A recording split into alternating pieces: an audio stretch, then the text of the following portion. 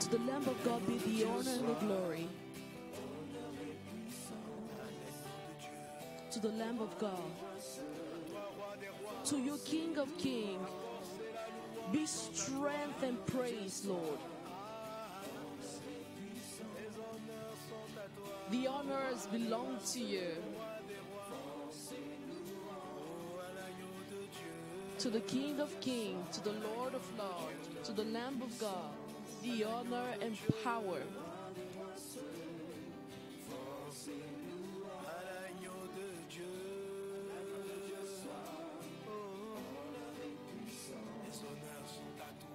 Honor is yours.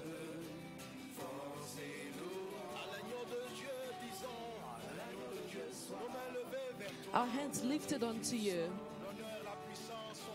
Honor, power are yours. Out the Lamb of God.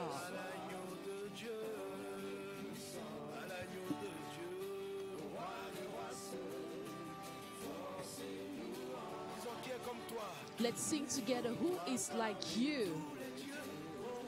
Amongst all the God, O Most High. Is like you, magnificent in holiness? Comme toi, magnifique en sainteté.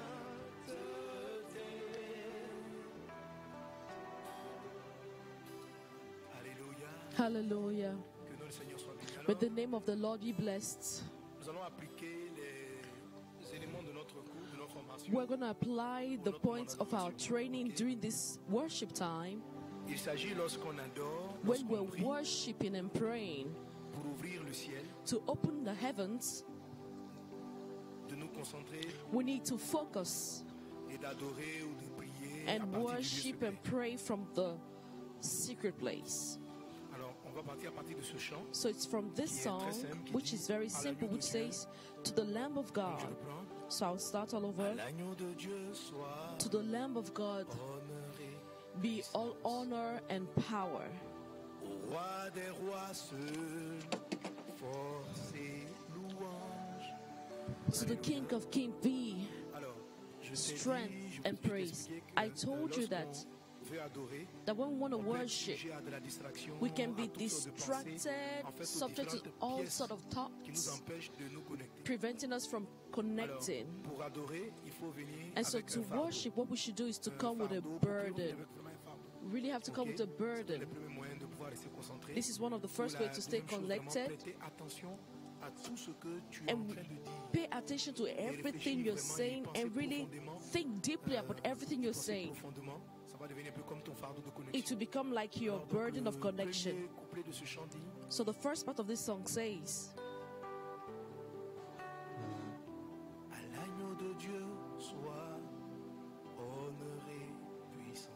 the Lamb of God be power. When you start singing, Lamb of God. Déjà, c'est un passage d'Apocalypse qui est cité, ok? This is a scripture from Revelation which is mentioned. parle du sang de Jésus. The Lamb of God speaks about the blood of qui ôte le Jesus. Here's the Lamb of God that removes the sin of the world. And you say to the Lamb of God be strength, power, En ce moment, tu praise. concentres ton esprit sur l'œuvre de Christ à la croix en tant qu'agneau. Et quand tu dis soit la force, la Bible dit toute la force, tout, tout est à lui. The strength is. His. You Et tu vois focus your attention it, and you see the strength of Jesus breaking your c'est ce que tu- yokes. C'est ce dont tu témoignes en And that's what you're testifying about. plus simplement en train de chanter une mélodie, mais maintenant là tu es rentré en esprit. Just singing a en train de melody, now you're in the spirit saying, de Dieu, celui To the Lamb of God, He who delivered me be all the strength, power. lui est donnée. Et la deuxième partie de ce chant. And the second part of this song says, Who among you is like, who among the gods is like you. He's the only one. But there are very mighty spirits in the second heaven. And there are all sorts of things opposing your connection. Now you uplift Jesus above all of this. You say, No, they're not comparable to you. They're so little. And you sing it. Among all the gods, who is like you, O everlasting one? They are so little. Nothing is like you, Lord.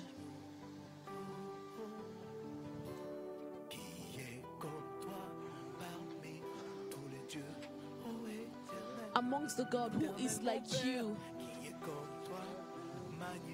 You are magnificent. Who is like you? No one is like you.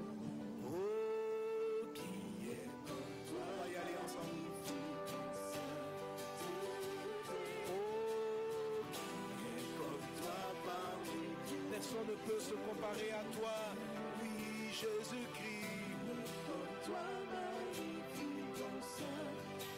Personne n'est comme toi. Tu es au-dessus de tout. You are above all things, Au-dessus des maladies, above all sicknesses. au-dessus du verdict des hommes, You are above the verdicts of men. You are above those who decide.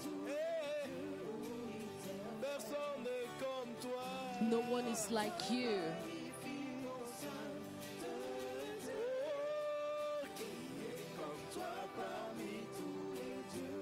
Who like you? Who is like you among all the gods? No one is like you. No one is like you.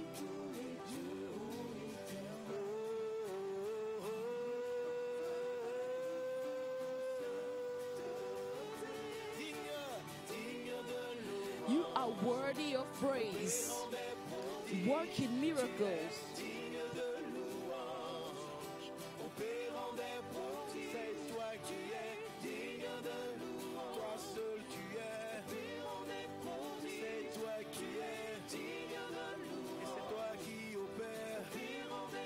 C'est toi qui es. You alone are worthy of praise. Working miracles.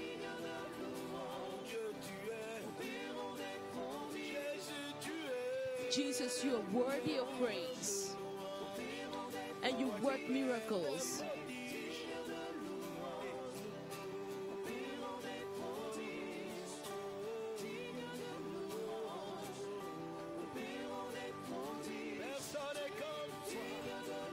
No one is like you. You're worthy of praise. You do great things. You're worthy to be celebrated. Eyes are set upon you.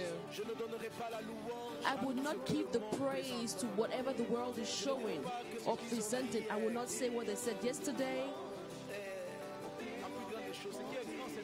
That which is great is you. You are great. And you work miracles. You alone are worthy.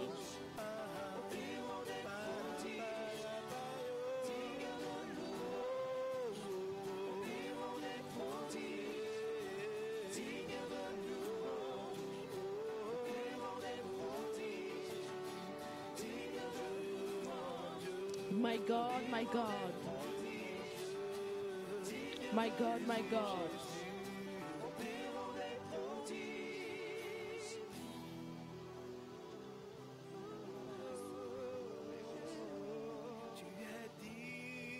You are worthy of praise. And my God, you work miracles. As we sing this, we see the Lord doing miracles. He who changes circumstances which are said to be impossible into that which is possible. Lord, you're the one accomplishing it. You are the one accomplishing it, Lord. You are accomplishing it. Oh, yes, you're worthy of praise. Working miracles. You're the one working so many wonders.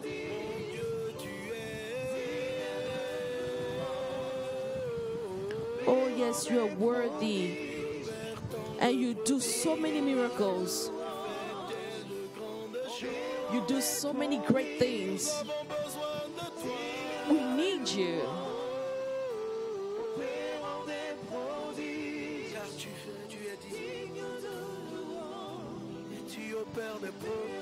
Accomplish miracles.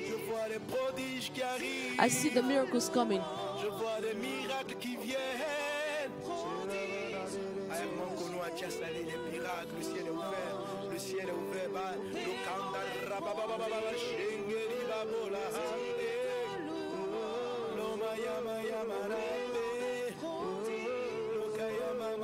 Vois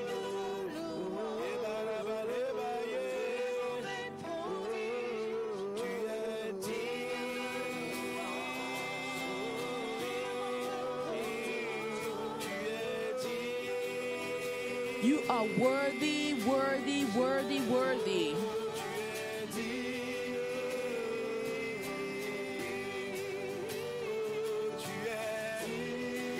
You are worthy.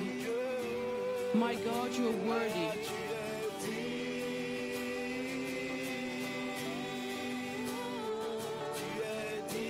You are worthy.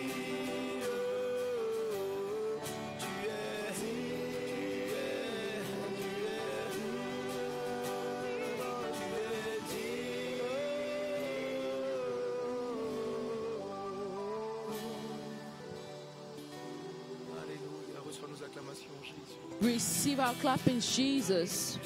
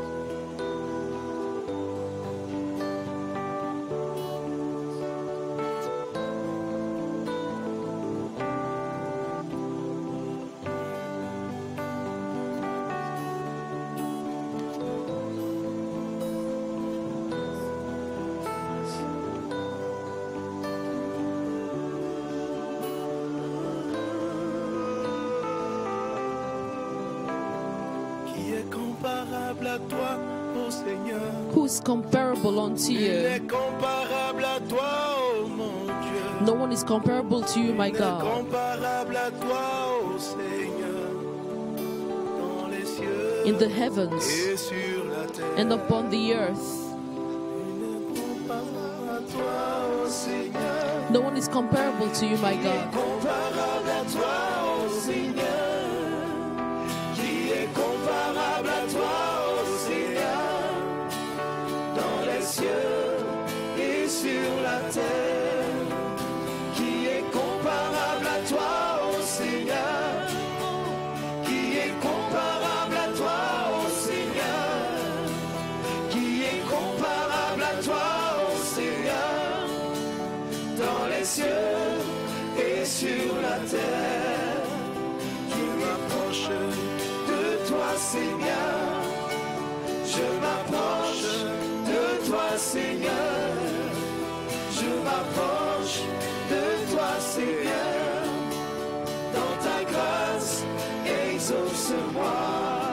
In your grace, Lord, answer me.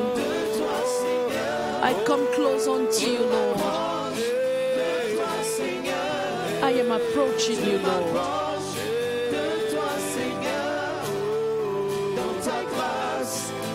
Oh Lord, in your grace, answer me.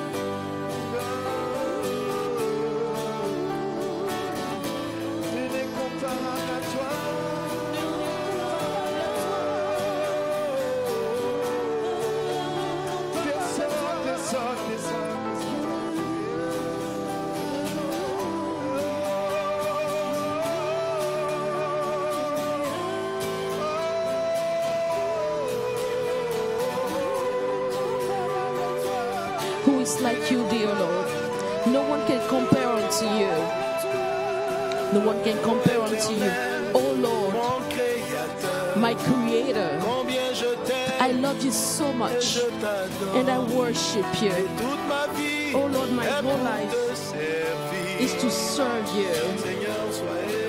Lord, be uplifted forever and ever.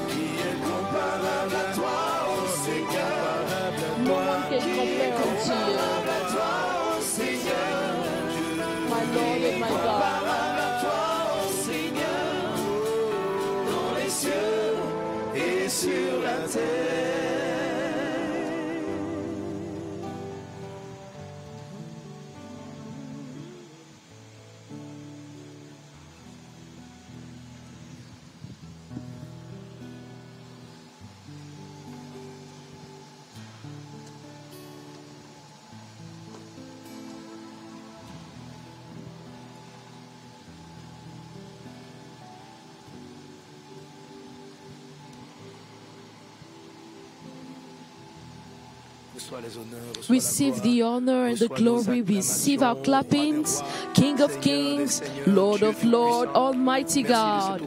Thank you for this occasion you're giving us to come close to you during this school of the prophets.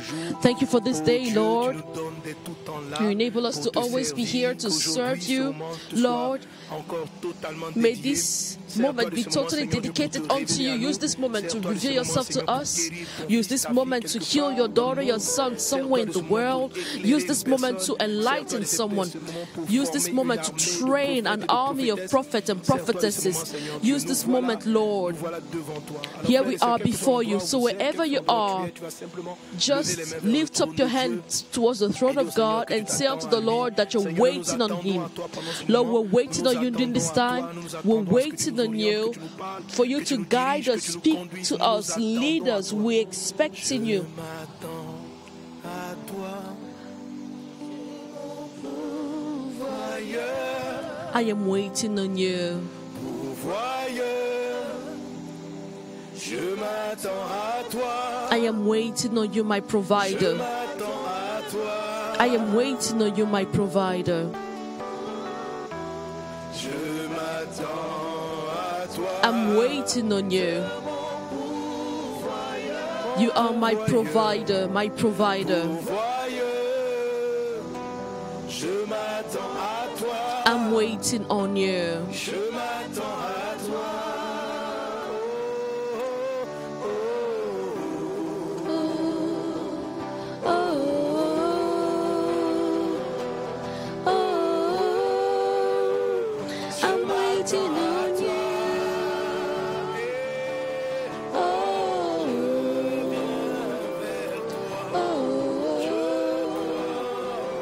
I trust and I believe in you. I'm waiting on you. Oh. Oh. Oh. I'm waiting on you. We are waiting on you. Speak to us. Lead us. Reveal yourself to us.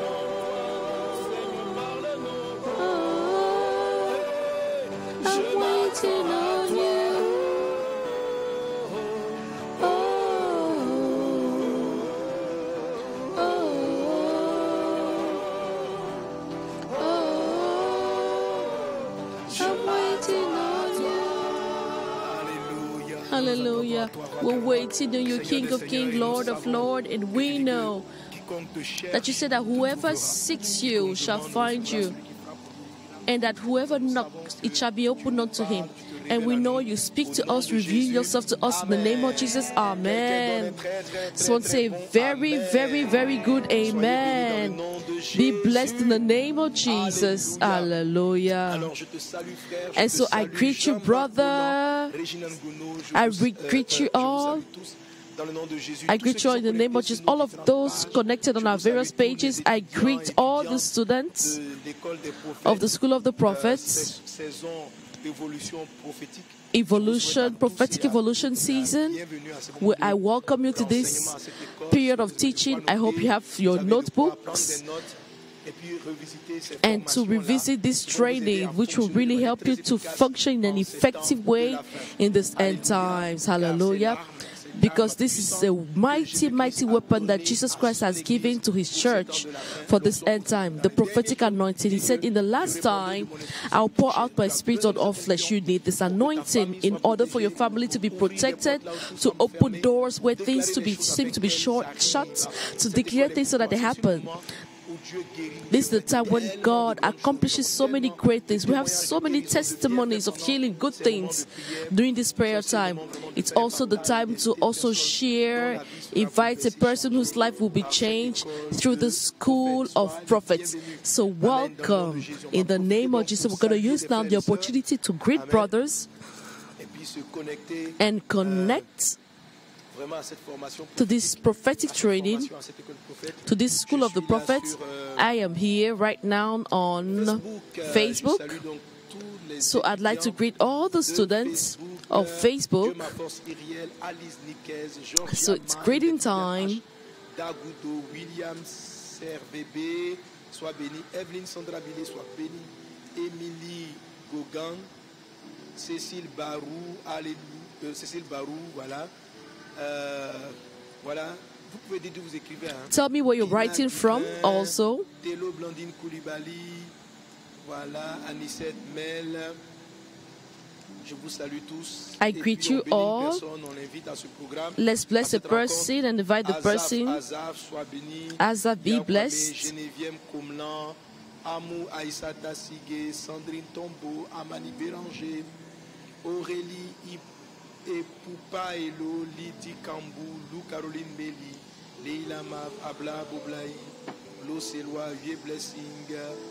Voilà la faveur de Dieu dans votre vie. The favor of the Lord euh, is upon you in your life. Ado Kachale Ndumba, Daniel Luzega depuis les États-Unis. je Daniel, crois, all the way from the United States or DRC, Soyez tous bénis. be all blessed. Je suis sur euh, YouTube. I was on YouTube and now I'm going on Instagram. Going on Instagram. Where am I? On Instagram.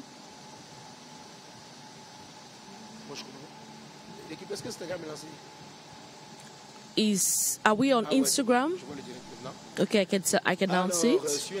je So on Instagram, I'm greeting Magali Sanu, Évariste Yaopoussa, Louise Diane, Évariste. Lebunda, Lebunda, Jimmy, euh, Mimi Bossela. Mimi Bosela. Euh, voilà, voilà. Soyez bénis, Okay, okay. Be blessed. with the grace and peace of the Lord be with every one of you. I greet all those who are connected on our greet you. I English bless you in the name of pages. That my Lord will be with you. Uh, I think this school, uh, this uh, class will help you to improve your gift, to improve the presence of God in your life. Welcome in this fellowship, in this gathering, in this school, school of prophet. Happy to be with you.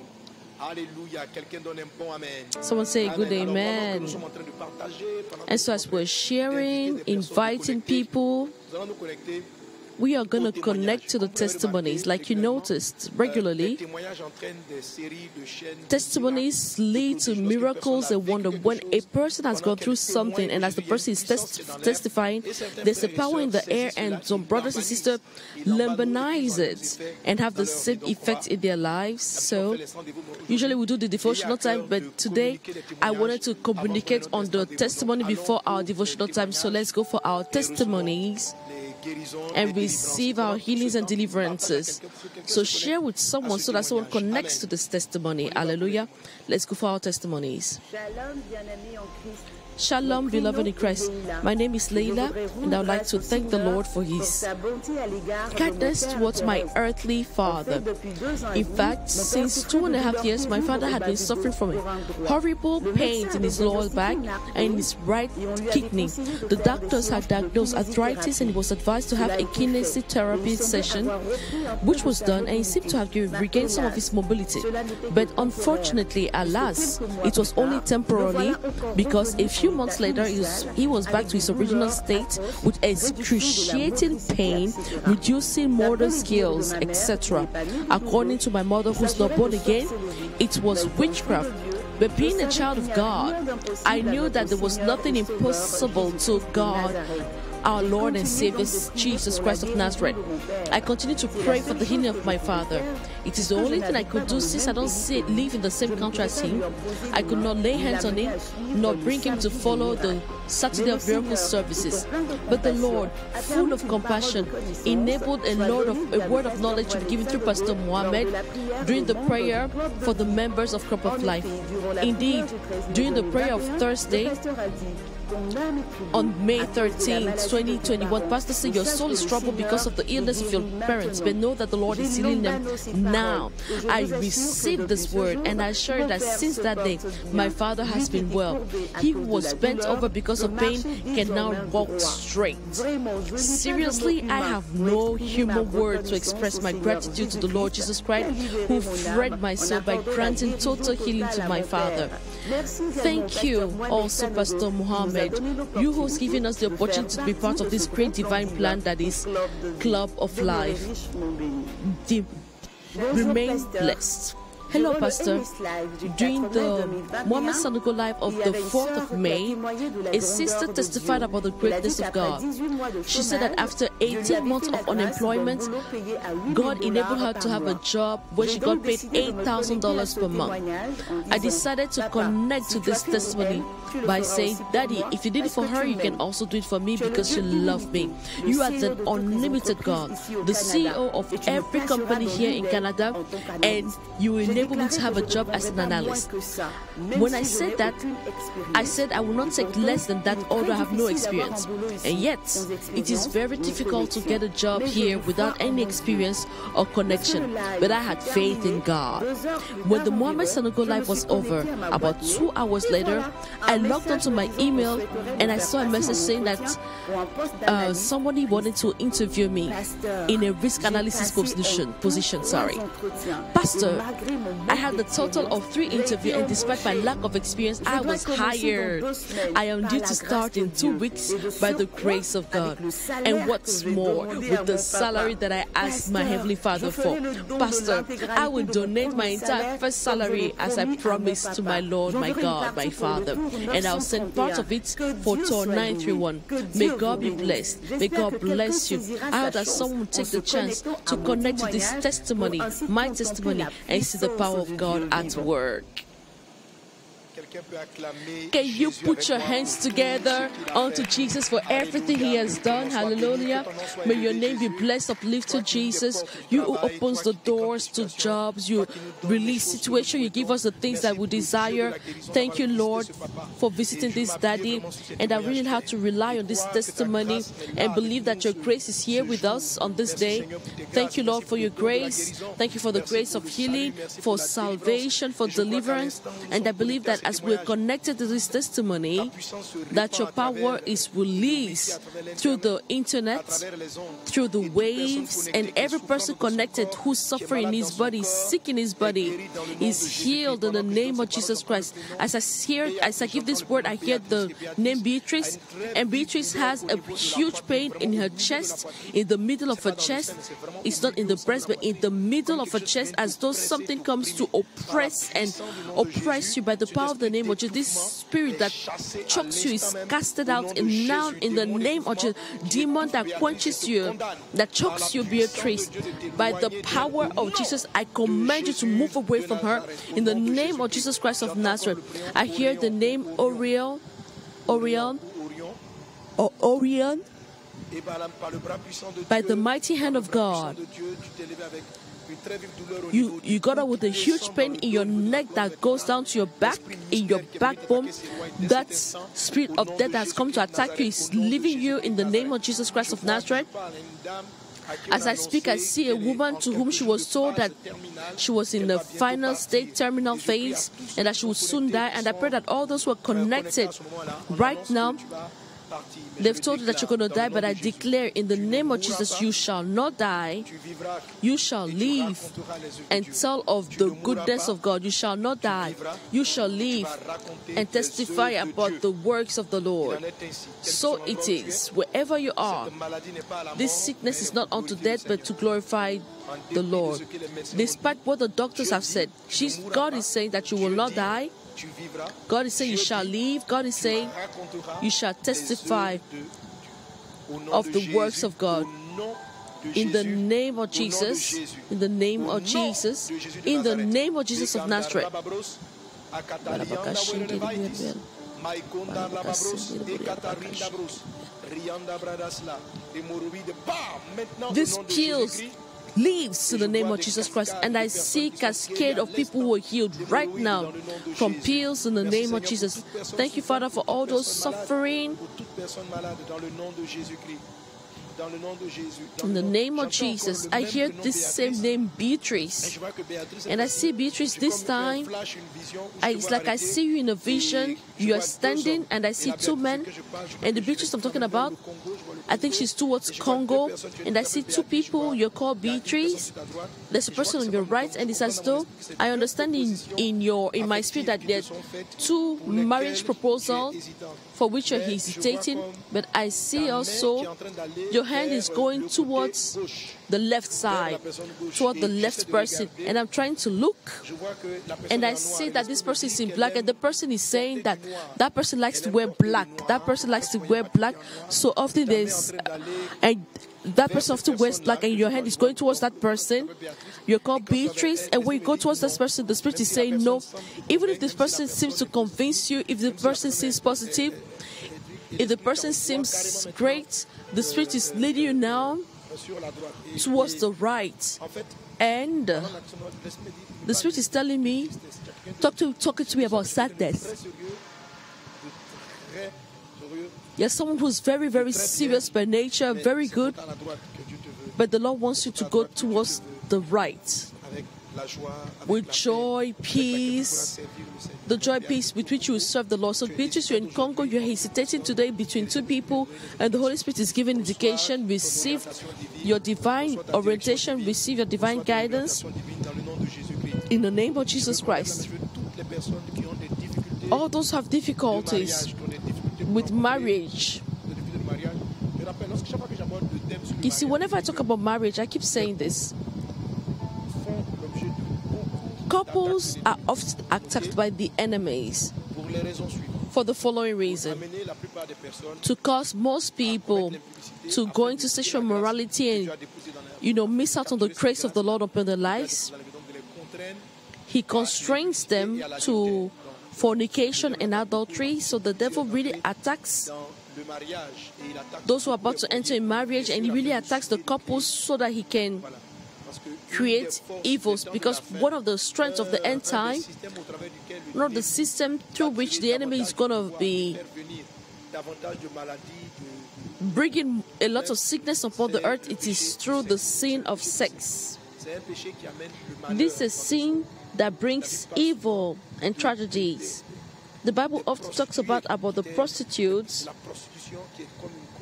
which is like a huge open door, demonic open door. And these strange sicknesses which are striking our world right now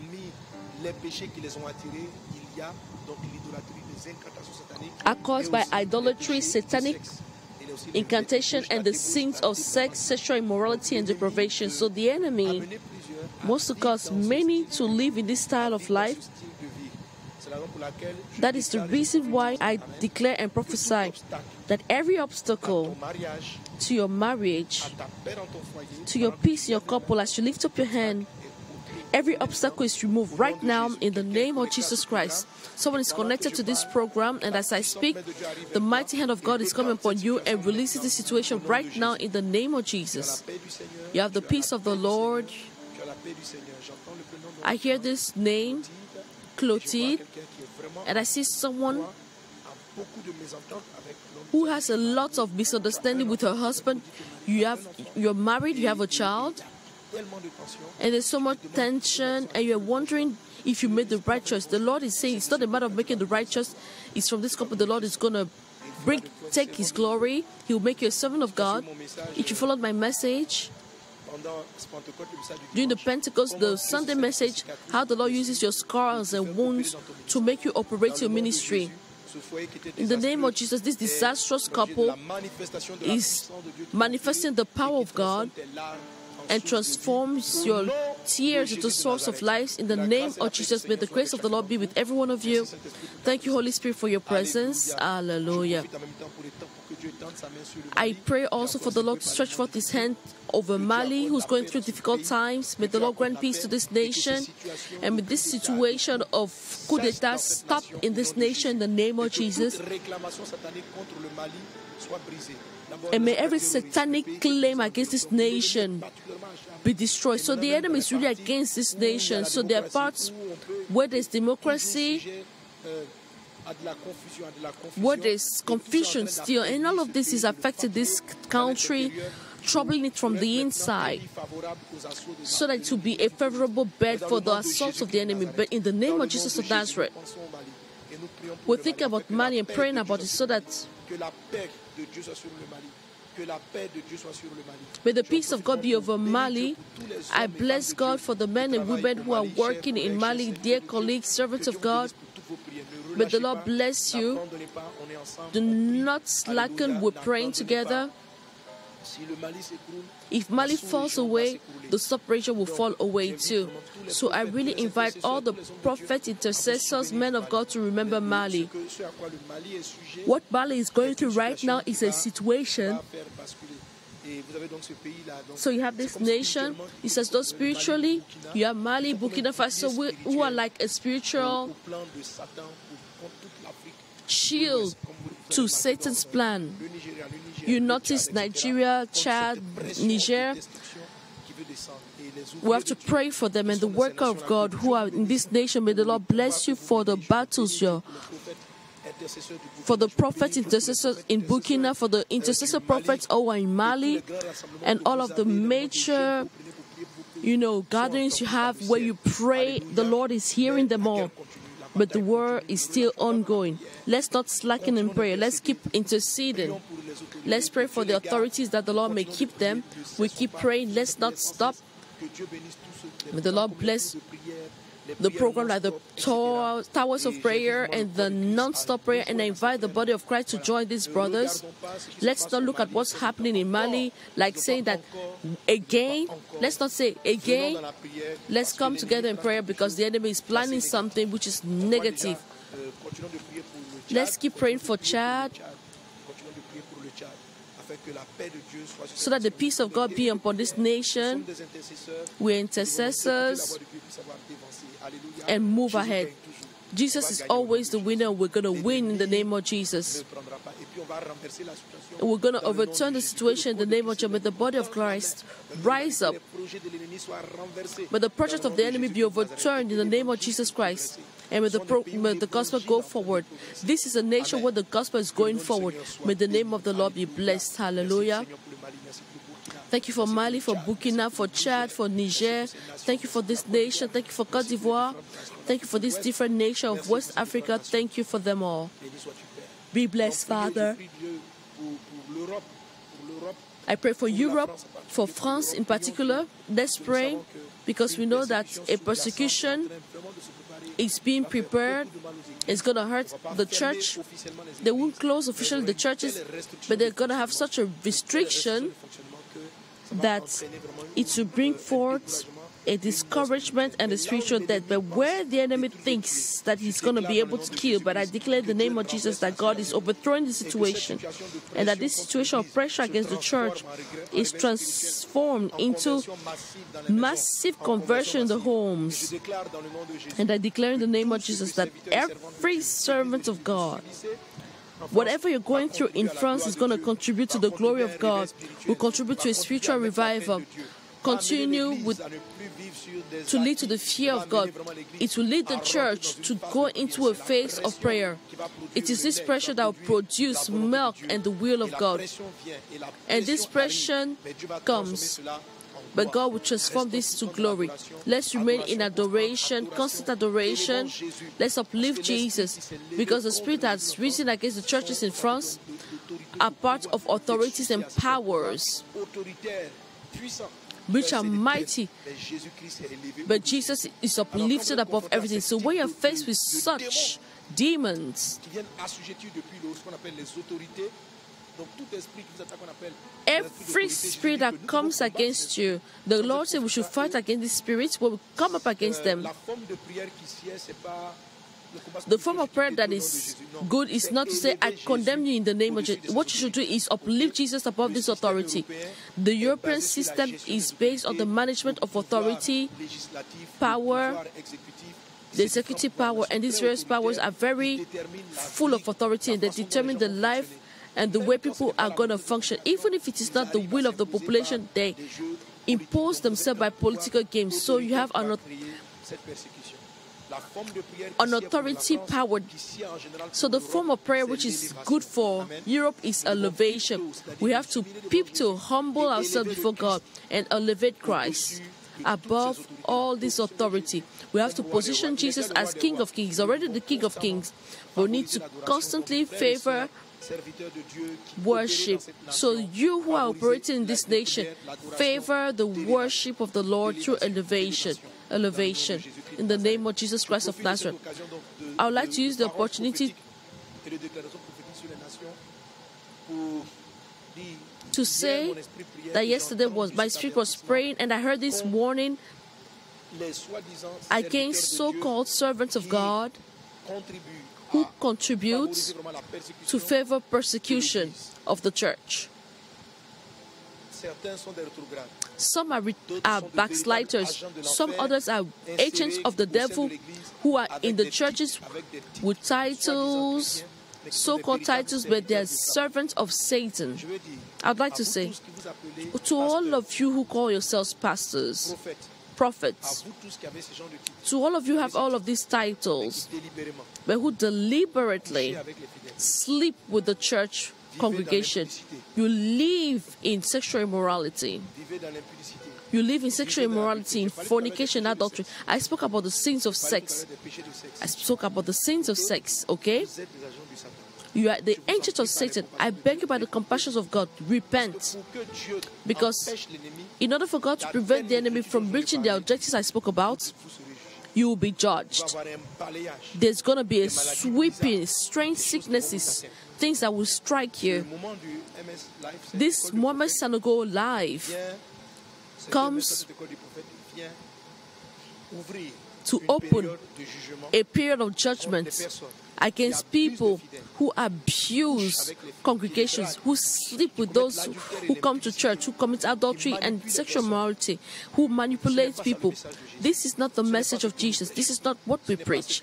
This is not what Christ has taught us. If deliberately you're fighting against the kingdom of God, God will fight against you. I just want to tell you that God will fight you. And you're about to be battled against by God. When Gideon destroyed the altar of Baal, and that's what our prayers are going to do, that's what the intercessions will do. The church will rise up and will overthrow the altars of Baal in the house of God. And when we will uplift the Lord. These altars will be overthrown. And the priests of Baal, that is you, who have the title of pastors, Meanwhile, you're liars. You call yourself pastors, but you're thieves. You say that you're a prophet, but you cheat. You abuse people. You have all of these titles. You present yourselves as saints, but you are ravenous wolves. When you listen to my message and repent, may God be blessed. You'll be delivered. But if you don't do so, you'll be part of those people they'll be spiritually judged and slaughtered so that this revival comes to place. Because you are contributing to putting the accursed thing in the house of God and you'll be judged like Achan was judged. So, this prophetic word of this school of the prophets opens this time of judgment in the house of God. Our God is a God of grace and mercy. I know many will not listen to me. I know maybe will take this lightly because God wants to judge you. If you understand the word and you humble yourself, He's faithful and just to forgive you and change your life. But don't use the name of God. Don't use the name of God to sleep or cheat or crook against be crooked against. Don't use the name of God to cheat. May the name of the Lord be blessed. May God, to God be the honor. God of heaven, may your hand be over your house. May Holy Spirit, may the holiness be unto your house. Lord Jesus, we are waiting on you.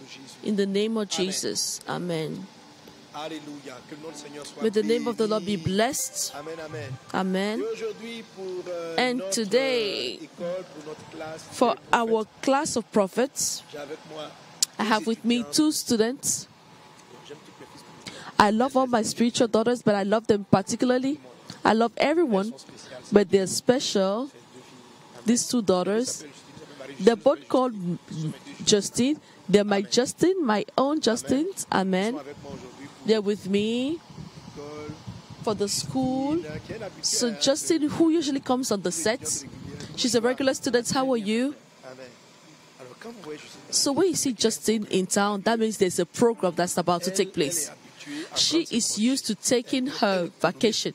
You know, she saves on her vacation to come to Abidjan to do her, her crusades, to take part in the different conference and crusades. So the conference and crusades are really, you know, she was here for the Pentecost program. She finished the Pentecost program, Voilà, à la fin, et puis maintenant je peux aller sur le terrain. and now she's going on the field. Amen. Et on a avec nous aussi. And we have with Marie-Justine. Mary Justin from London. Comment tu vas, ma vie How are you, my daughter? Be blessed, blessed, blessed. Hallelujah. Ok, gloire à Dieu. Glory be to God. Tu es bénie, Marie-Justine. You're blessed, Mary Justine. Voilà. Elle aussi, vraiment. Tu es une grande bénédiction. You're a huge blessing, my daughter. Beaucoup au niveau de prière 24. She helps a lot with prayer 24. She's always in her post, effective, intercessor. Vraiment, sois béni. Be blessed. quoi- qu'est-ce- c'est quoi ton programme So, what's your program? I came last week. I was here for the Pentecost program, and now we're going to the crusade, and then I'll go back. Ok. Donc, on fait un coucou à tous. So, we're saying hello to all the Londonian et à toute la people, England, France, Justine aussi qui with Justine, who's coming from France. Alors, avant de rentrer dans notre classe, So, before going to our class, nous allons aller à notre instant. We're going to go for our devotional time. Listen to today's message. It's really mighty. Let's go for the devotional time. You're following the devotional time of the Mohammed Sanogo Live.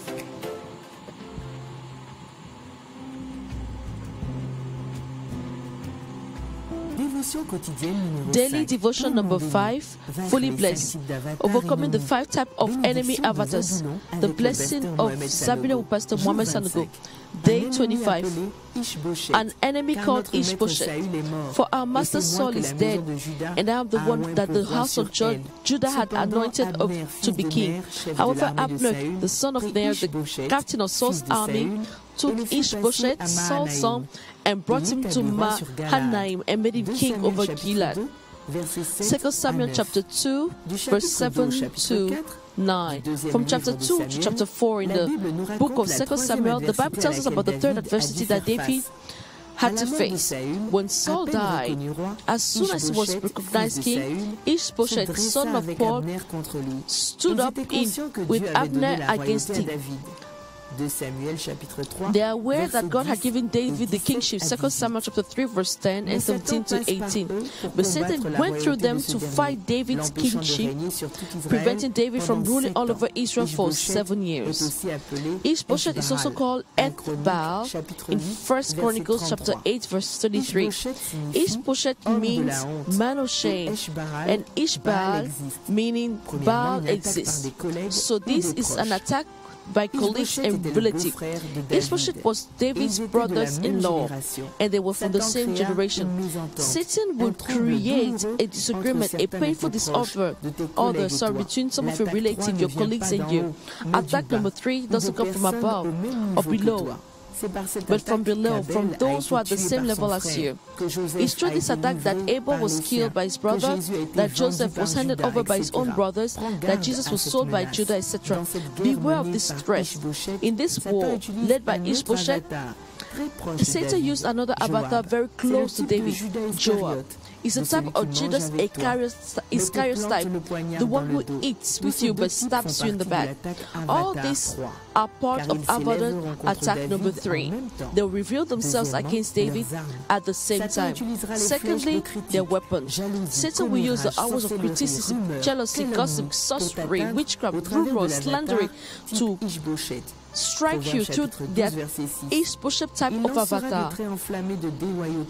Des traits enflammés de déloyauté, de Psalm 55 verse 22, he will, whirl, he will hurl fiery darts of disloyalty and disobedience, and even murder through Le jo- type the Joab type of avatar. plus de dégâts The Joab type does a lot more damages than Ishbosheth. qui ont littéralement Many lies, disparu ministry have cause de cette forme literally disappeared because of this form of Satan's attack. l'objectif de l'attaque. Third, the objective of the attack. By attacking by this avatar, the enemy has three goals. To make you bitter, that is to make you bitter. Abner, chief of staff of Ishbosheth, warned Joab that this fratricidal war will create much 2, bitterness. verset bitterness. 26. Second Samuel chapter 2 verse 26. Hearing lies against oneself, gratuites fait assez mal à l'âme. judgments, slanders engendre de l'amertume. hurts the soul and creates bitterness. Meanwhile, according to te prive de Hebrews chapter 12 verse 15, Le but du diable, bitterness en te faisant entendre deprives you of grace. Méchants, est de The devil's purpose is just to, l'amertume. Et ainsi, in making you all of these wicked words, is to create bitterness in you and thus reduce the effects of the grace of God in your life. défocaliser du but. Guard your heart temps à te défendre, on focusing yourself from the goal. Spending your, time, your time defending yourself against wizards can n'est pas notre get you out of focus from your mission. Defeating demons is not our goal. combat des démons The goal is to possess our inheritance. Don't make fighting demons and your enemies your vision, but just it's them. dit, Je vous Stay on envoie comme des course. Jesus said. I'm sending you out like sheep in the midst of wolves, according to Matthew chapter 10, verse 16. être. Cain killed Abel. conseils de Joab Joseph was almost killed. t'amener à prendre des Joab's décisions advice mortelles pour tes entreprises, could lead you to make deadly decisions for your business, your et même pour ta ministry, your home, and even your life. Be careful. Bitterness caused by wickedness and betrayal can kill your soul too. Word to meditate. Psalm chapter 41, verse 10 to 2 14. 2 2, Timothy chapter 2, verse 16 to 17. 17. Proverbes chapitre Proverbs chapter 12, verse 6. Psalm 55, verse 22. Hébreux chapitre 12, Hebrews chapter verset 12, verse 15. Action du jour. Today's action keep your heart and preserve keep my heart and preserve me from the wickedness of people hallelujah glory be to god Alors vraiment, on a, j'ai beaucoup aimé le, le- message d'aujourd'hui. i really love today's message euh, because dans will help us la classe de ce jour. ok in today's J'ai fini la class dernière classe avec i finished last class qui savait quoi Qu'est-ce que Ouvrir le ciel. open the heavens with mes gars me what disaient, il y a- il y a un my people told me les quatre ouvreurs du ciel, the four parlé de la openers of réception de la heaven i talked about receiving the euh, prophecies where the lord said Moïse, the lord spoke to moses god said mouth to mouth so people want to know what this is all about do you want to know about it okay. So we're going to go on the scripture. It's really important with regards to this form of revelation that we receive from God. What I'll speak about is really important. This form of revelation that we receive from God. Hallelujah. Amen. Amen. Alors, hein, on, va, on, va, on, va, on va revenir sur le verset principal. Let's come back to the main scripture of my teaching. Je vais combiner euh, dévotionnel et puis on va. I'll combine the devotion and we'll go into our class. Let someone now Prendre Nombre chapitre 12, take Numbers chapter 12 from verse 6 à 8. Verset 6 to verse 8. Amen. Donc, je suis en même temps dans mon commentaire du dévotionnel et puis je fais juste une partie. euh, je combine juste une partie et puis on, I'm going to say a little about this word today with the devotional and then move to our class. Numbers chapter 12, verse 6 to 8. I read the word of God. Then he said, Hear now my words. If there is a prophet among you, I, the Lord, will make myself known to him in a vision. I speak to him in a dream. So note that generally, that the gifts of prophecy come through vision and dreams, generally speaking. Because we are talking about open heaven. Once the heavens are open. God will speak to me. So when angels come with the information that I need, I'll receive the information through dreams and vision. So this is a reception mode. Dans notre classe, euh, dans notre classe de Bethel, I got to the class of Bethel on the notion of reception of what God is sending us from heaven. And God is telling us here that He sends message to His prophet through dreams and vision. He said something else which is relates to Moses and the prophets of the end time, which is going to be much more manifested.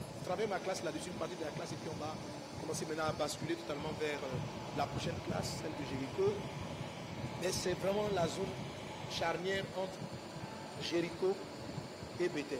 Amen.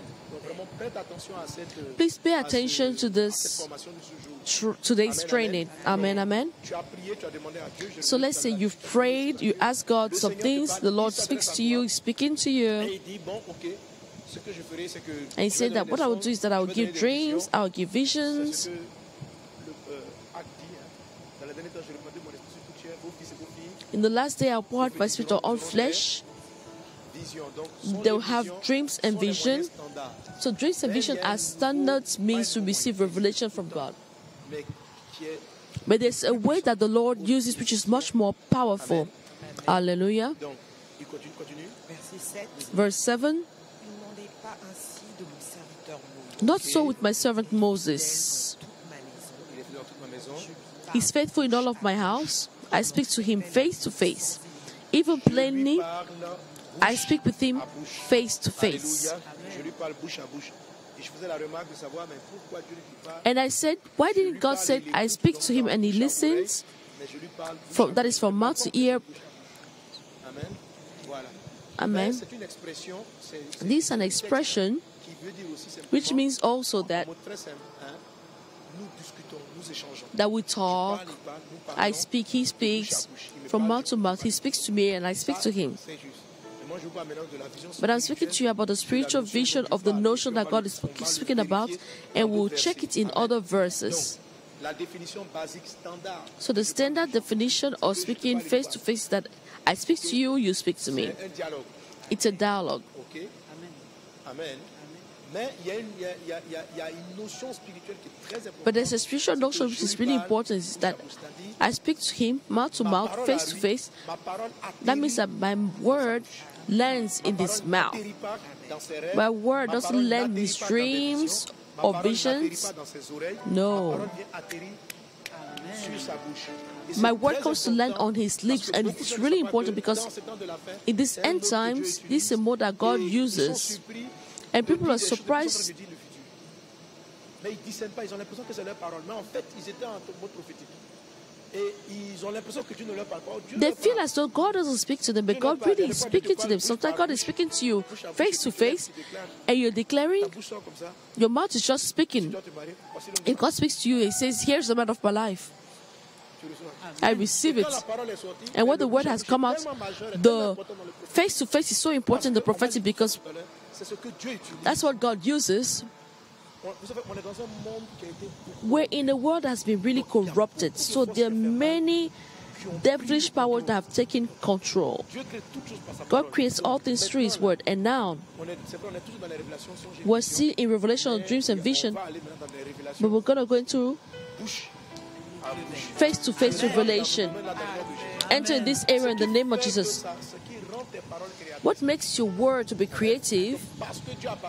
So because God has spoken, He has declared it, things happen. Hallelujah. So where is the link with the devotional? The poisoning of the heart. because of the heats of life, the attacks of life, through the attack of Avatar type number two. When friends criticize us, we hear that this person has said this about us. Euh, voilà. Cette attaque-là de l'avatar, This attack, numéro deux, qui Avatar number two, Dabré, Ishbosheth type that we studied, est un des grands ennemis is one of the major enemies of this type of prophecy de la musique, parce que c'est quelque chose qui attaque because this is something which really attacks your heart. Meanwhile, the Bible says that it's from the abundance of the heart que la bouche that the mouth speaks. Ah, Hallelujah. C'est la raison pour laquelle That's the reason why there's a sort of prayer that you need to develop, which I spoke about in the last training.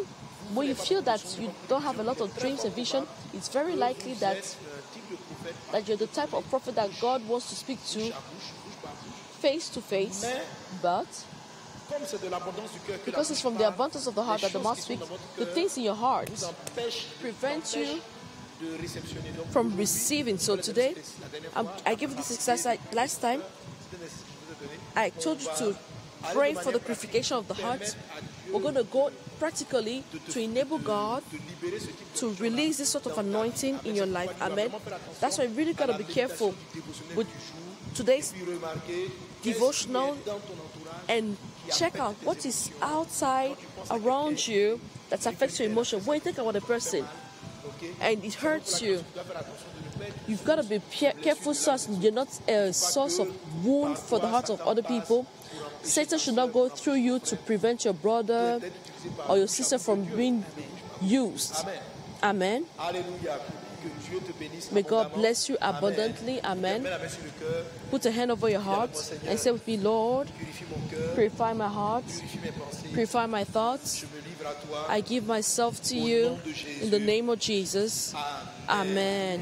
Que notre Seigneur soit béni. May the name of the Lord be blessed. Put your hands together with put your hands together unto the Lord with me. Glory be to God. Gloire à Dieu. Glory be to God. Amen. I'm going to ask the communication team Le prophète, les images du to put some pictures of the parallel who's praying, of the prophet who's praying, where we have the parler de cette angels. We're going to talk about this movement au mot de réception. before we get to the reception mode. réception, Lorsque le ciel a été That is when heaven has been opened. Hallelujah. Donc, voilà cette image, et puis, euh, puis on va défiler avec tout ce qui est mot de réception au fur et à mesure. Amen. De temps en temps, ça va revenir quand je vais, je vais illustrer mon message.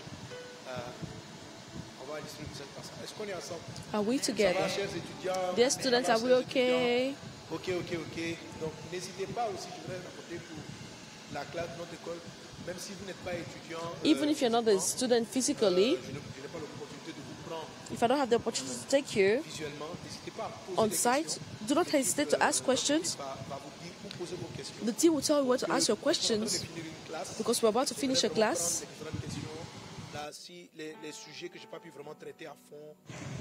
And I would like to go over some things as necessary according to your questions and precise Alors, mes étudiants, things. est-ce que vous So, my students, do you have any questions? Are there things? Sur les classes ou euh, Bon, en priorité sur cette classe-là, la classe de On this class Bethel. of Bethel? Éventuellement, bon, voilà, s'il y a d'autres questions. Uh, if you have any other questions, you can ask me.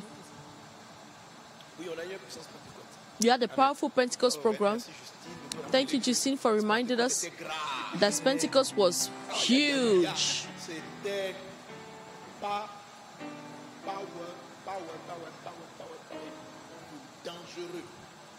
Pentecost was dangerous, powerful, mighty. Hallelujah. In Pentecost, we received the Holy Spirit for the new harvest. Did you receive something? Tell me something that really touched you. The first teaching that touched me of Pastor Zanf. Pastor Zanda delivered me from the way I saw Hagar because Hagar I saw as the mistress, the one who comes to put disorder in something that God had already established. But she was a victim of history. So this delivered me because I learned that God comes to heal the broken heart. This is his priority. And even Hagar, who wasn't in his plan, he felt obliged to come and heal the heart of this little girl. So this first teaching,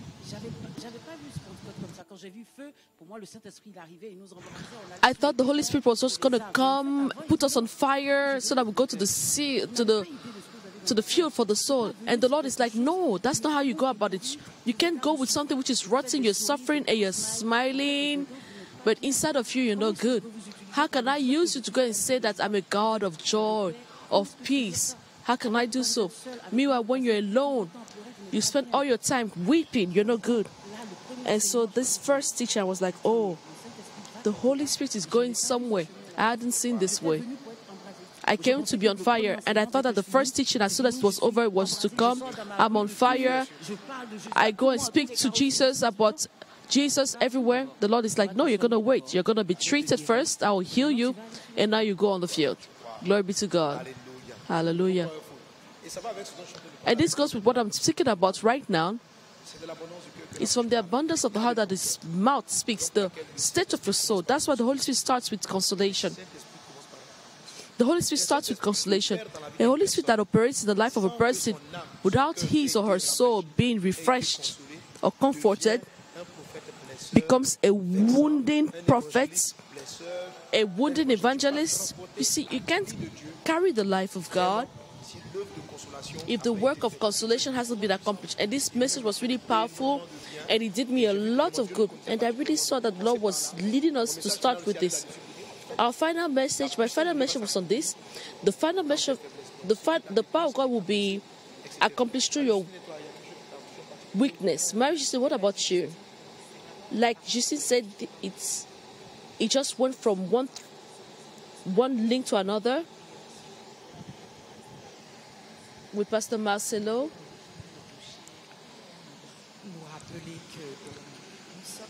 He reminded us that we are murderers if we have the possibility of saving or talking about the good news and we hold on to the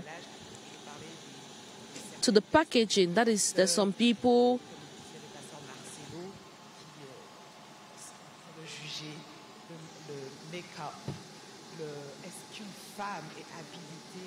There are some people who don't preach the message because they're arguing about should you wear trousers or not, makeup or not. It took me years back when I was in the church. I bless the Lord because I saw this good foundation. Je revenais en vacances When I would come back from vacances ma- vacation France et que je venais from France à, à, à Abidjan, and I would go to Abidjan, m'évangélisait parce que je venais people would evangelize me because people would, I would come in uh, trousers to church. And Pastor Marcelo told us that a woman Le servant de Dieu. can be a servant of God Justement, il disait comme ça que c'est une femme qui l'a And he was saying that it was a woman who brought him back to the Lord. Amen. Amen. En tout cas, ce séminaire a délivré. See, this seminar delivered many people. Il faut savoir que ce soit au niveau de la tenue, So, what it's with regards to their parents, what you have to do, l'apparence qui, qui fait des doctrines. Un, d'abord, first of all, you need to know that it's this behavior of the church that caused Christianity to disappear from North Africa and the regions. People went into theological debates and no longer proclaim the gospel. The gospel comes to save lives and establish people in their inheritance. We'll come out of it. The man of God really insisted on it. Evangelizing is not an option but an obligation. We're working for people to come out of a pit of, of perdition. Now, so what concerns which anything which is external, the Apostle Paul is saying that is the culture that we should adopt to better evangelize. When we go to evangelize, for example, in the northern zone, where people's tradition say that women should not wear trousers, they should wear veils, we wear the same thing so that our clothing will not be an obstacle to the preaching of the gospel. So I am not judged by myself. Moi-même, puisque je suis par rapport à la je vais moi-même m'adapter I will adapt myself so that my message can come across. If there's something upon me that can prevent the saving of my brother, I will remove it because the most important is for his soul to be saved. We were blessed in all of these various teaching. May the name of the Lord be blessed. We're on fire. I really, really advise you to take and listen to these various teachings and the fire of God flood you. Put your hands together unto Jesus. Amen. On peut commenter chaque message. hein. Mais le temps We can comment every message, but we won't have enough time to do so. You can listen to the teaching all over again. Alors, comme je te l'expliquais, nous allons finir la classe de Bethel. So we're going to finish with the class of Bethel. Je rappelle, mon thème de la formation, c'est The theme of my teaching is prophetic evolution. You who's following me, parmi les solutions que Dieu a données among the solution God has given, ta vie actuelle et celle de tes proches, il y a le don, le don there is a gift, and there's the déjà gift of prophecy, manifeste dans la vie de plusieurs which visits many of you, and maybe don't know, many don't know. The people who bury it ne savent pas quoi en faire. and don't know what to make of it through lack of teaching, through total ignorance, par rejet, en tout through cas, chacun a une rejection. Many have A reason, and depriving yourself of such a grace and instrument will weaken many Christians. When Jesus says the end times are near, when Jesus, through Apostle Paul, mentions the various spiritual gifts, he says, Seek ye first the gift of prophecy. Seek ye first. We learned with the first season that the ministry of prophecy is not words we say, Thus says the Lord, but it's to speak in an inspired, a way which is inspired by God. This word will save lives, will save you. For example, when the sickness struck, I was led by the Spirit to say, Sickness, you will not enter in my home. So by saying this, what I did was to come through the prophetic way to prevent void, uh, void zero or COVID 19 to enter into my house. And by God's grace, no one in my house has been affected. I did a lot of tests for my travelings. We did a lot. Nobody Had any positive result to the COVID 19. de choses pour lesquelles There are many things for which you should rise up and understand what God has given you. And the theme we're going to talk about today, which will lead us to the class of Jericho, will enable to use this power. We saw the spirit that came to drown the child, and because the woman in London listened to the message, she used the word of the prophecy, and her child came back to life. The child would have been killed without the ministry of prophecy. Listen, you need to know that Satan slaughters, he kills. Every dead person is not dead according to God's will. But as soon as the evil arrives, a prophet can come under the unction of prophecy. Someone has the gift of prophecy can prevent that evil. And I'm trying to explain to you the word of God so that you understand what you're going through right now. And if eventually you're not going through this thing, ask God for them so that He grants you this gift. The Bible says, Seek for the gift of prophecy. We were afraid of this. And the enemy created this psychosis around this gift because people are saying you can lie against us, against God. There are many things putting us away from this. That which God has given us, which is good. If you want to walk in sincerity, you don't want to say, Thus says the Lord. Meanwhile, you have, meanwhile, God hasn't said, God knows that you don't want to say any nonsense. That's not the, a reason why to reject the gift. Because what other solution is God going to give you if you don't accept this gift? How was Elijah able to pull down the altars. It's true prophecy. So when we're in the end time, this is a ministry that really comes to resolve many things. And I beg you by the compassions of Christ, follow this training. La première classe. Donc l'évolution prophétique, The prophetic evolution la formation du prophète type is the training of the prophets according to Elijah and Moses' au moment où style. Il y a beaucoup de captivité, This is when où il y a beaucoup de liens et où les forces des démons sont descendues sur la where the forces of demons came upon the earth to operate. Israel was captive over Egypt. captif toute une population. There are demons that hold euh, captive whole population. In the time of Elijah, Mrs. La femme de Jezebel, the wife of d'Israël came to bring in the midst of Israel statues. She arrested most of the prophets. Some prophets were hidden, but the atmosphere was very negative, and there alt- altars of Baal everywhere. And that's when God brought forth a prophet in the category of Elijah, who came and faced directly these idols, these divinities. He broke them down mettre au règne de Dieu and enabled the reign of God to come back. So, when a period of spiritual intense spiritual Les temps de la confrontation. The end times were announced with similar times. Maladies comme le vide You see, when you have sicknesses like void zero, which are huge demonic manifestation, guerre, la débauche qui atteint un degré comme pas possible. the sexual morality has gotten to a level which is incredible. During Pentecost, I visited some statistics in the country like Cote d'Ivoire and many other nations. Drug in school, the rates are very high. Sexual immorality, prostitution in Cote d'Ivoire, près de 73%. nearly 70, 73% of abort, abortions are done by students. If you take 100% of 100 people who do abortion, 60 to 70 of them are young girls, students who go for abortion. What does this mean? It shows the level of sin sex Among schools.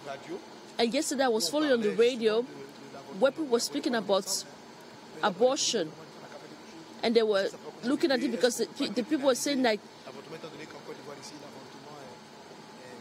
abortion in Cote d'Ivoire is forbidden by the law.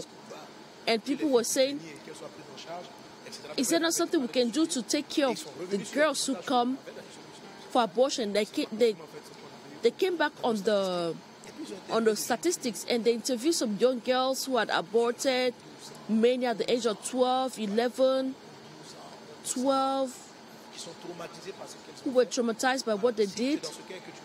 If you're in this case and I'm speaking to you, Jesus is a comforter. The church is not rejecting you. Do not reject children. Do not reject children. Jesus welcomes people. You have to welcome them. Even the Lord condemns them.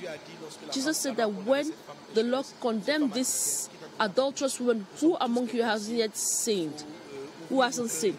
Let's open our hearts and receive people who did abortions. It's a sin, it's not a good thing. But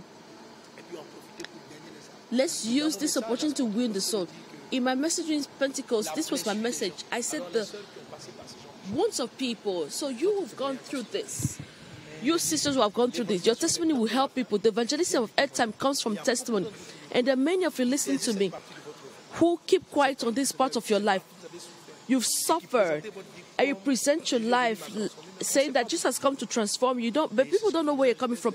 And my message is saying that your scars are the points from which the embracement will come to convert a lot of people. Amen. So, your story, your past, write about it. Say a word about it. Use internet, like Pastor Marcelo told us, to say, okay, I'm standing here. I was when I was on Facebook. I was. There are people present themselves as coach, and some of them speak well. I listen to some others who give advice, but you're like, it's the devil who is even speaking through them. They were, you know, trivializing sin and evil, the destruction of life, and people were laughing about it. And I, I'm not saying that my sisters, brothers in Christ, the change that Jesus operated in your life can change many people. It can save many people. Yes. There are many people, young people, listen to me, who are specialists in abortion. You slept with 40 girls. How did Jesus visit you? Why did you stop all of this? How did you come out of masturbation? How did you come out of cheating? How did you come out of all these things? So the God of consolation that Pastor Zando spoke about us, spoke about, And people don't testify because they're so ashamed that they don't want to expose their lives in order not to be seen as dirty. People who say that oh you really did all of this? And people will not want to marry them. See that's how people think. No deny yourself. What did jesus do for you took you out of a situation to be forgiven he comforted you and if you haven't been comforted if you've gone through a tragedy negative things it has happened to every one of us every one of us has his story and god wants to use it amen Are we together? Someone say good amen unto Jesus. Amen. So let me drop all of this and let me come to the various classes and schools. The prophetic ministry is important. This is part of God's solution. The prophetic evolution. In the prophetic evolution, God brought people like Elijah, who in this end time have mighty, mighty, mighty messages, and I'm sure you're part of them. Amen. So, how will you use this gift? I told you that even marriage can be blocked by this because of the absence of the prophetic. People like Prophet Elijah went to the class of Gilgal. par la classe de Gilgal.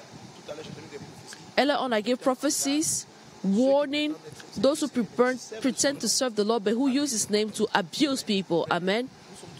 Bro, we're all receive grace from God. I don't want to judge nobody. I'm just trying to say that you shouldn't use the name of God to do evil to people and to sin against God. At the class of Gilgal. God sanctifies and circumcises your heart. He sanctifies and circumcises your heart. You cannot be an Eli type, Elijah type of prophet and not deal with pride, the desire to show off. The characteristic of Elijah is, especially John the Baptist, they used to wear rags, sign of humility. I beg you, if you have the gift of prophecy, it's a gift. But the spirit of prophecy of the end time transits through Gilgal. Listen to the teachings on the class of Gilgal, how you circumcise the heart, and when every time it's like a school.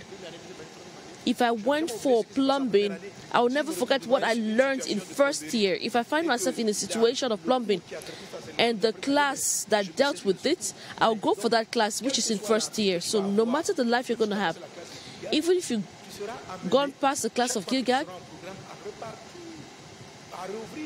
You're gonna have to go to open up the classes that we that the lessons you learned in class of Gilgal to relearn all of it. So after the teaching on the circumcision of the heart, we now get to the class of Bethel. So with me, class of Bethel, the, which we're conclu- concluding. So the class of Bethel is based on Jacob. He got to the town of Luz, which is, talks about the almond tree, which talks about the watches, and he had a dream where heaven was open and angels were ascending and descending on a ladder. And Jacob called that place Bethel, the house of God, where the heavens are open. So the class of Bethel Consistait pour à apprendre à développer l'ouverture du ciel, will help us to permettre à Dieu d'envoyer la puissance et les informations. open heaven to enable God to send us power and information. So practically,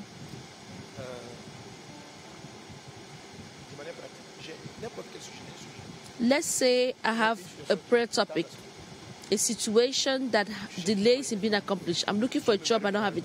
I want to get married, but the marriage is not coming. But I'm seeing that, and I'm seeing my brothers and sisters have hindrances, obstacles. I need Daddy in heaven to guide me, to tell me, am I faced with the curse of the end time? As a Christian, a curse can affect me all around. So what should I do? I'll do it like the prophets who come through these classes. I'll go seek for God first.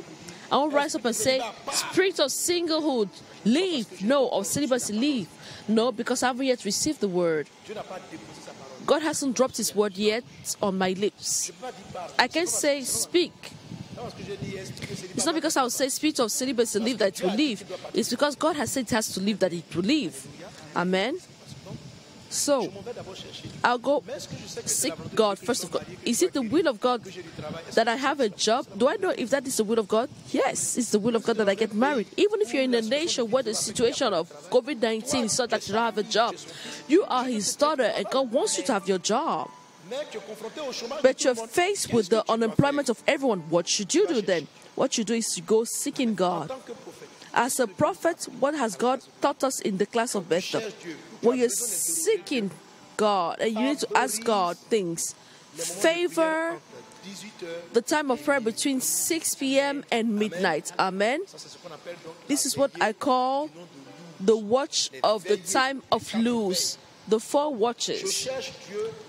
I'm seeking for God to orient me with qu'il to marriage, to orient me with me to. Marriage. I'm seeking for God for direction. The situation seems blocked. I've been praying for years. I have no solution. So here we're not supposed to start praying at 4 a.m. The prayers of 4 a.m. which open the day are prayers of Jericho. We'll soon learn about them. In this case, I'm trying to open heaven so that angels can come and explain. And give me Je- cette prière guidance. peut marcher tout So this prayer can work at all time. But the more persistent the problem is, I need to understand that the atmosphere is complicated, and then I will favor the two times of prayer. Amen. Entre 18 heures, donc qui est ce qu'on appelle le temps de l'offrande. And we call it the soirs, on faisait offering time. Je vais prier. I will pray. Si je prie, je prie et que je n'ai toujours pas de réponse, If I pray and pray and have no answer, monter avec Dieu avec des offrandes. I'll rise up to God with offerings. Donc, dans le moment de prière où je cherche So in my prayer time when I'm seeking the face of the Lord, I can come and present offerings. Hallelujah. Des offrandes qui ont les caractéristiques qu'on a abordées. Offerings that have the characteristic I spoke about. The offerings come to open heaven. d'autres ouvreurs du ciel. Donc, vous souvenez Other open openers of home that you know, alms, taking care of the house of God. Hallelujah. So I'm seeking for God. I am seeking for God. Cornelius is someone who was seeking for God. When the angel came to see him, the angel told him, God has heard your prayers and remembered your alms. That's why he has sent me. So why did the angel come? Because of the alms. Because of the alms. So this is someone who gave to the poor. So giving to the poor opens heaven. Being in church, looking at brothers in difficulties and helping them, give to them opens heaven. Going on the street, seeing someone has no food and giving him a bag of right, that opens heaven. So you can combine the four. You can Amen. combine the four. You have to seek for God until the heavens are opened. 18 heures et minuit, So between pries dans la- 6 p.m. and midnight, De 18 heures à combien the first watch is from what time to what time?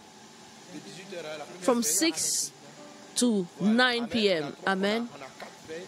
Une veille dure à peu près 3 heures de temps. Amen. A watch will last for about three hours. I'll then favor the prayers where I seek God, where I say, Lord, I'm waiting on you. You are my provider, provider. I'm waiting on you. I'm waiting on you. Standing here in your presence. Seek for the presence of the Lord between 6 p.m. to 9 p.m. Ask God questions. It's very likely that after you sleep, if you sleep after this time, the Lord will give you a dream. He will put words in your mouth. Are we together? Amen, amen. Première veille. Si je passe la première veille, j'arrive à la deuxième veille. If I go after the first watch, I get to the second watch, which is from 9 p.m. till midnight. Je vais plutôt favoriser la louange. What I'll do is to favor praise. Amen. Alors je vais plutôt élever Dieu. In this case, I'll just uplift God. Là, on se retrouve In this case, we're in the case of Paul and Silas. Amen. Paul et Silas, au milieu de la nuit, In the middle of the night, pam! il est descendu. La prison a tremblé, The Lord came down, he opened the prison, he said, Leave here, no time. étaient en train de chanter les As they louanges. were singing the praises of God. So, singing the praise of God is all about saying that God is great. Tu vas plutôt favoriser la grandeur de Dieu. You're going to be favoring the greatness of God in this time. So, give me a, a song which says that no one is like you.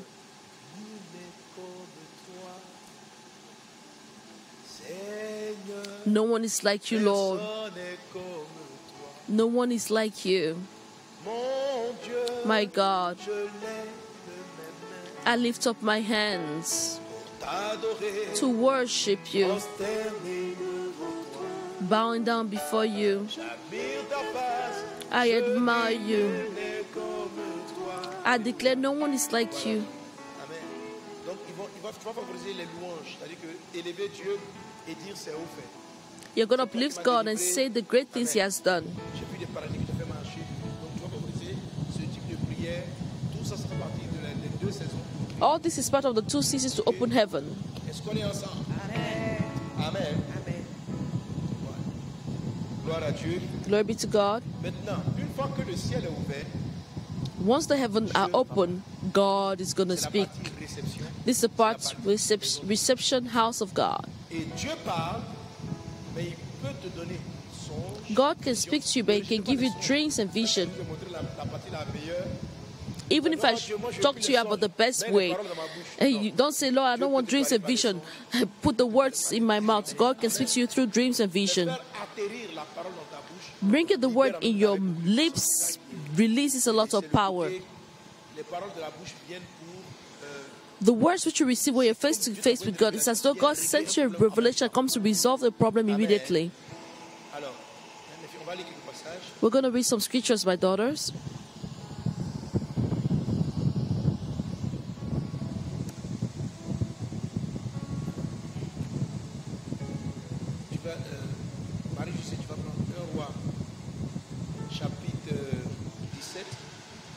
verset 1 2. Verset 1 et 2. Justine, tu prendras. euh,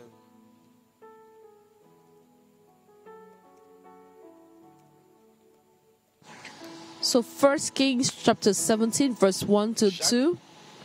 The second scripture is taken from the book of James.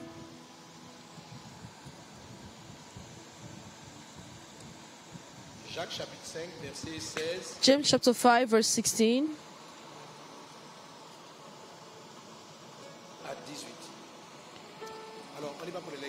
Let's start reading. 1 roi 17, verset 1 et 2. First Kings chapter 17, verse 1 to 2. Je lis la parole de Dieu. Reading the word of God. Elijah the des Tishbite habitants de Galaad, of the inhabitants of Gilead said to Ahab, As the Lord God of Israel lives, whom before whom I stand, there shall be no dew nor rain these years except at my word. Et la parole de l'Éternel Then the word of the Lord came to him, saying, lui en ces mots. Get away from here and lui, lui, le verset 3. get away from here in verse 3 and turn eastward and hide by the brook of du Cherith, which flows into the Jordan. Amen. So you have here Prophet Elijah who said to the king, Ahab, Ahab, sorry, there shall be no dew nor rain.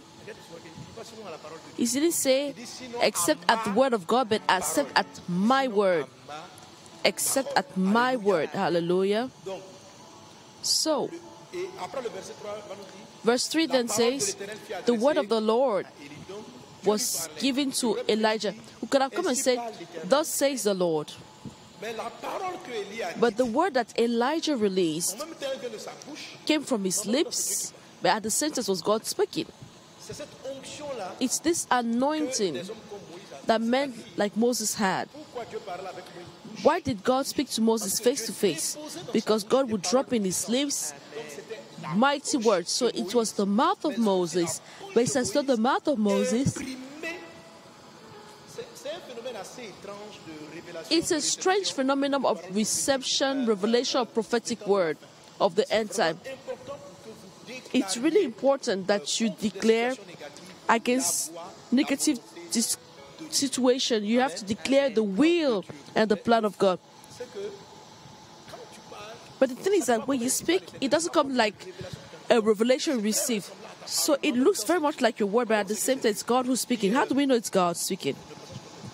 Let's read in the book of James, chapter 4. Sorry, James chapter 5. À 18, James chapter 5, verse 16 to 18.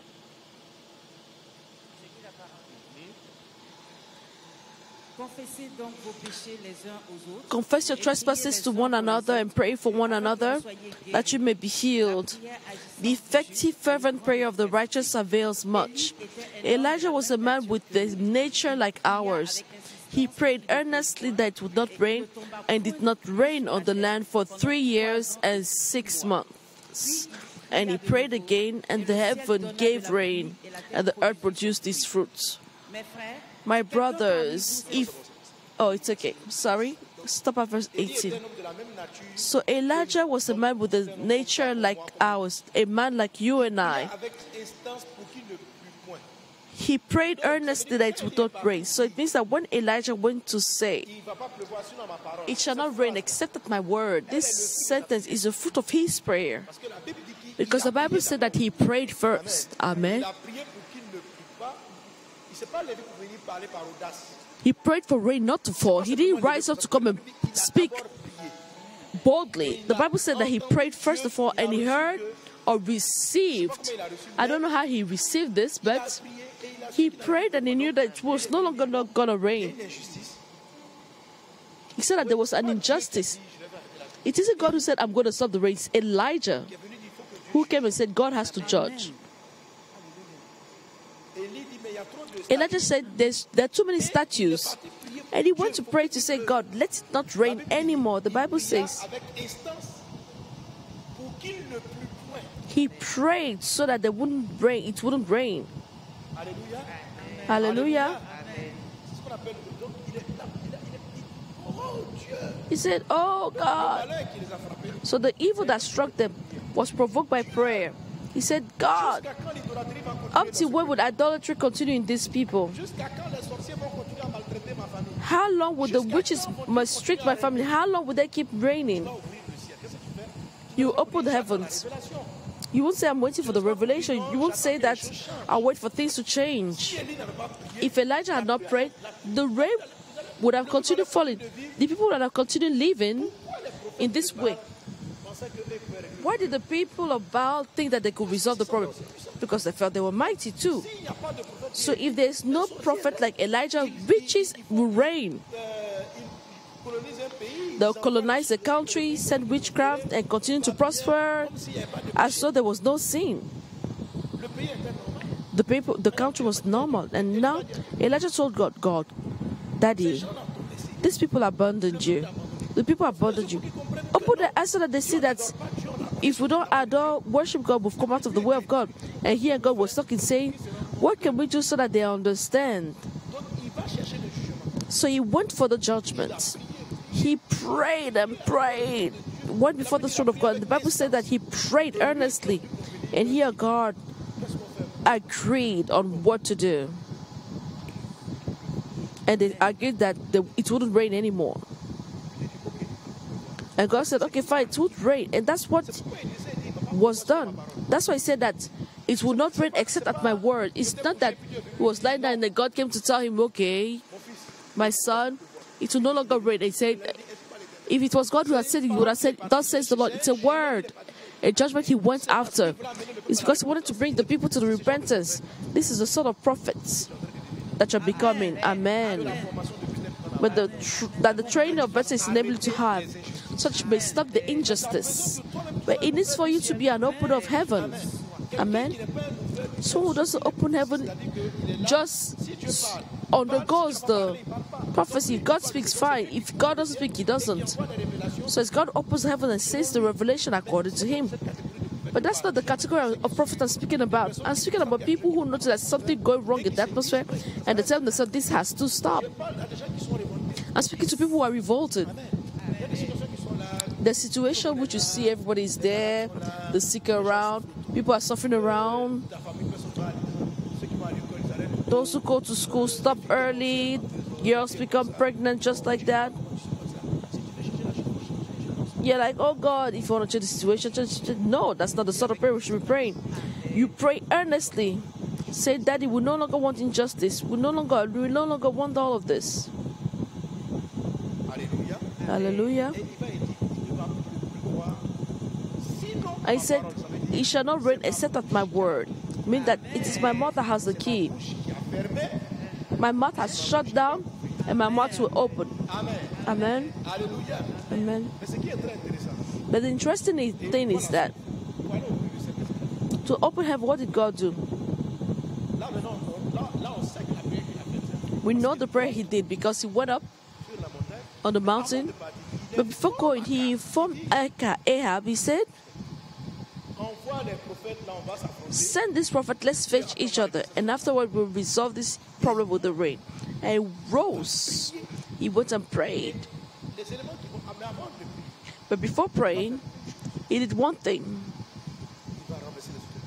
He went through the, the altars of Baal. So he felt the witches. He broke the altars, put back and set back the altar of God. He called fire, and the cross says, The Lord that is God, the Lord is God. And then he was about to say, My people see. And he prayed for the rain. He prayed for the rain. several times. As soon as he servant saw uh, a cloud, he said the Lord was about to bring down the rain. The type of prayer you should adopt. You're a man or a woman that has to open heaven and you have to be able to shut the heavens. You have to be capable of opening the heavens. You have to be capable of shutting down the heaven, and it's possible. That's what I've been teaching right from the beginning. That's the class of Bethel. What are the workers of heaven using? What are the men of God using? At the earnest prayer or praise or worship or prayer. That is the thing with which we open heaven.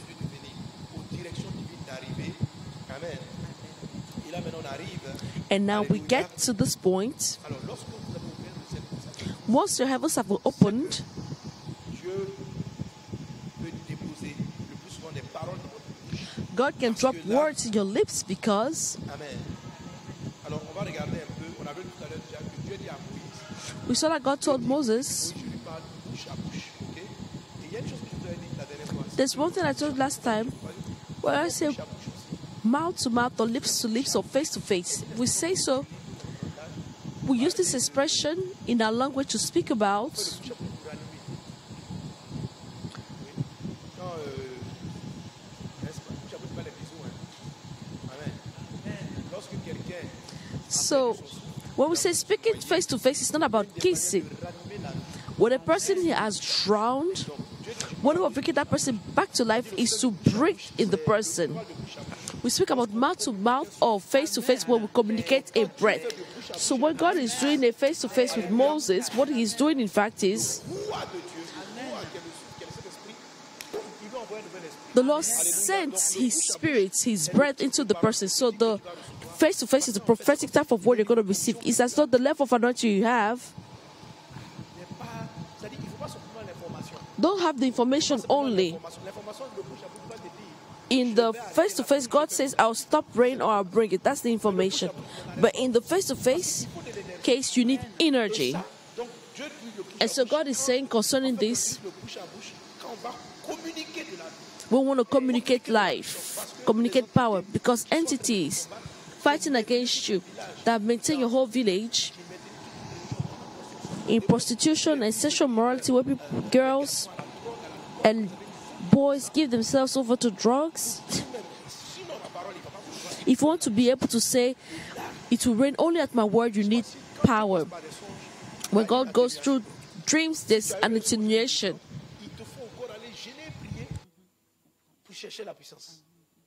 Have a dream a vision, you need to go and fast to receive power. So vision itself has no power. This vision is not creates.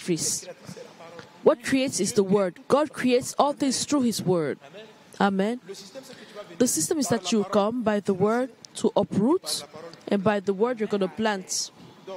So, instead of going through a lot of losing energy in power, losing your energy in decoding the vision, once you finish doing all of that and declare the word, the, the word is going to have very little power. So, the face to face is as though God was doing a shortcut. Instead of going round the long way, He creates a shortcut. Immediately, He sends the word in your mouth. And it comes immediately with power. When you open your mouth, pow! It's an explosion. Enter in the face to face phase in the name of Jesus. So, at this level, the prophetic, the Bible speaks about it and says, speaking about the end time prophets, the Bible says, Deutéronome chapitre 18 à partir du verset 18, in the book of Deuteronomy, chapter tu vas lire du verset 18 au verset 19. Euh, Marie-Justine,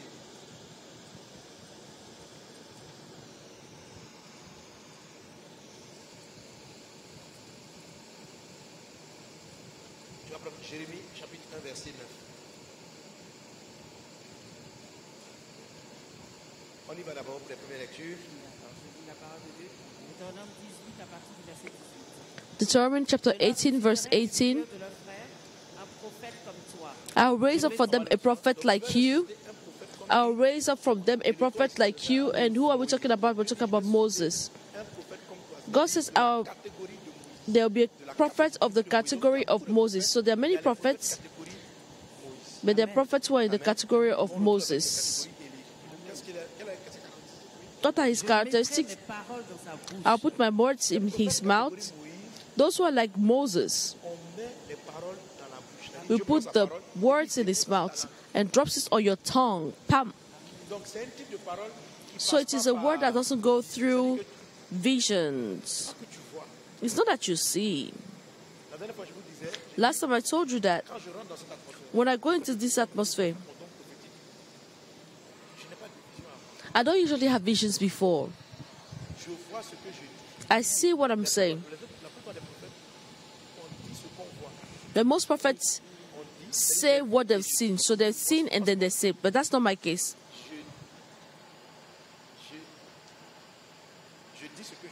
I'm saying what I'm seeing.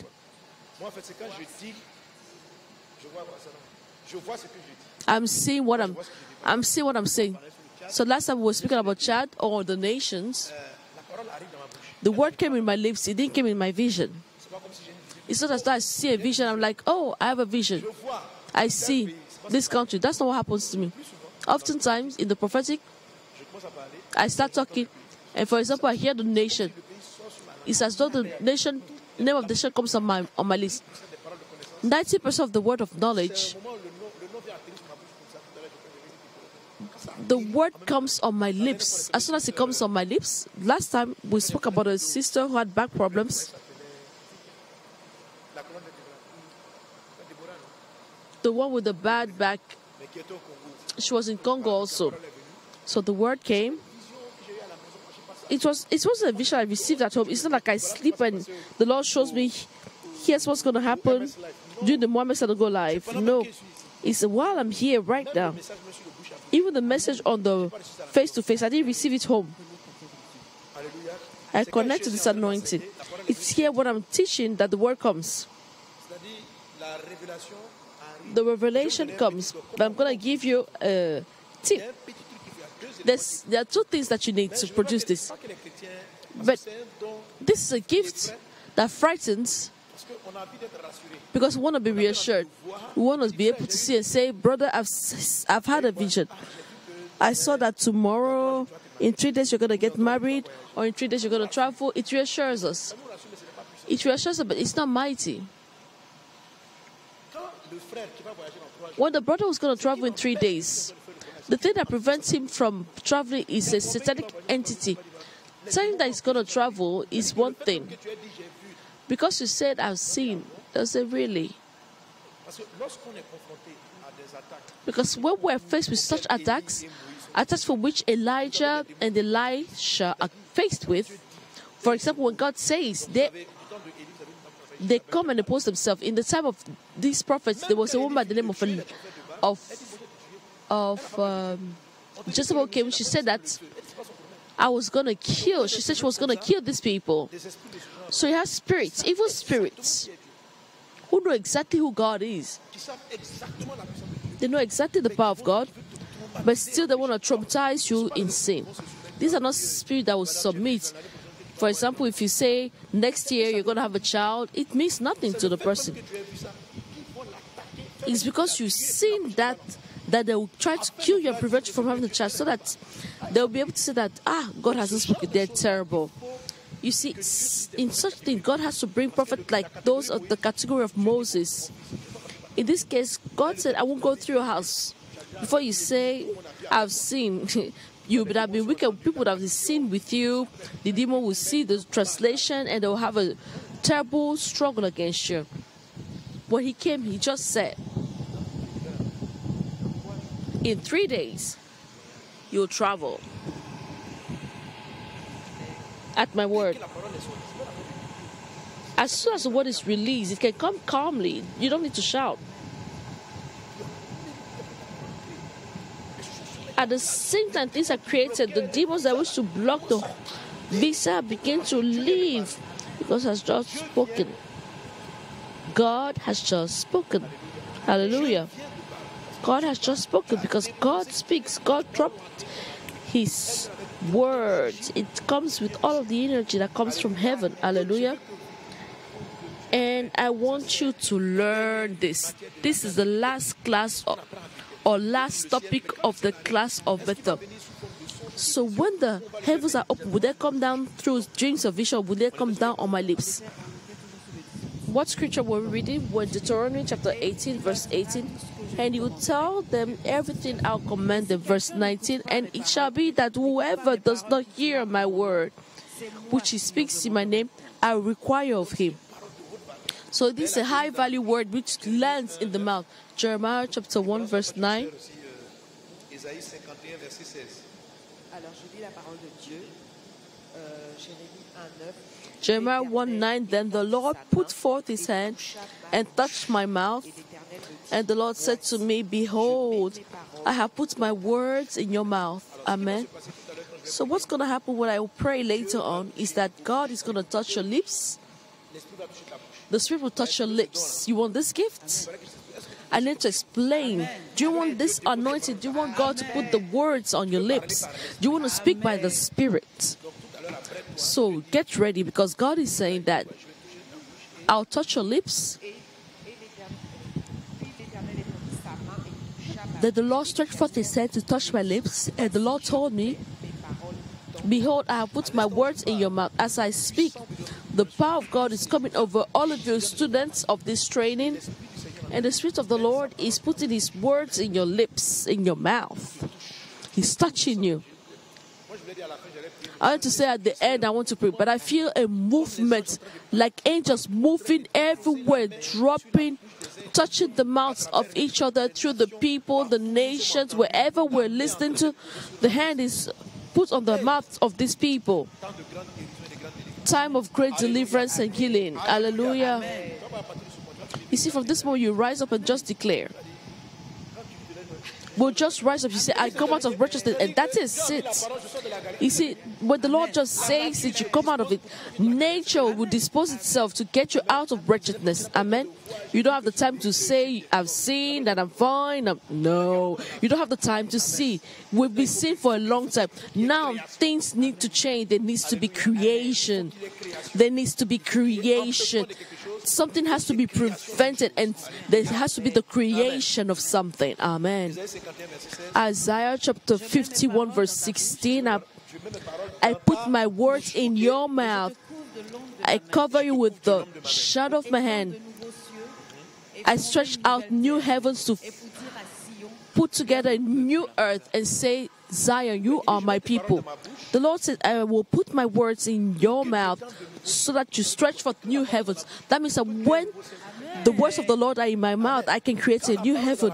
When the word is in my mouth, the Lord is saying, I put my words in your mouth. I covered you with the shadow of my head. The goal here is for you to proclaim a better horizon because new heaven is the end of time, the return of Jesus. But I proclaim a new heaven. Your closed heaven is open now in the name of Jesus. I declare your heavens are opened. Your life changes. I declare in the name of Jesus. When you're a prophet in the mouth of whom God puts his word, you open heaven. He said, I put my words in your mouth to to do what? That I may plant the heavens and lay the foundations of the earth. Everything the earth had cursed, every curse that had been put over the soil of that person, he who has the words of the Lord on his lips is as though God. God has created everything by his word. He said, Let there be light. The light was. So you just look at someone, you say, Your light shines. And that person comes out of darkness because God has landed. Amen. The ground was cursed. Now the Lord is saying to stretch forth new heavens and found. Lay the foundation of the earth and say to Zion, You are my people. So when God takes the shortcut to put his words in our mouth, that means he's going to create something. He's going to resolve a situation. That means that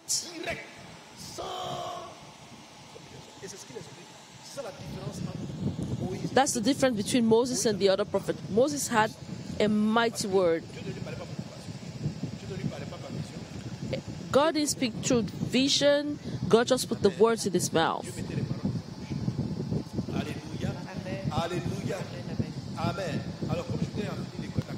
Because I want to finish the class today, how do we go about this? To have the words in our mouths.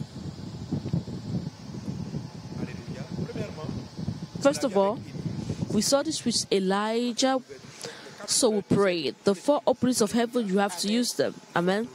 You have to worship in the watches that I spoke to you about.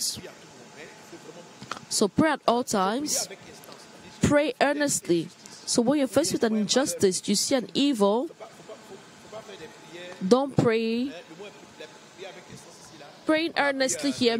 We learned this in the book of in the class of prophet intercessor. Is to pray with a lot of energy. You pray with a lot of energy. Praying tongues.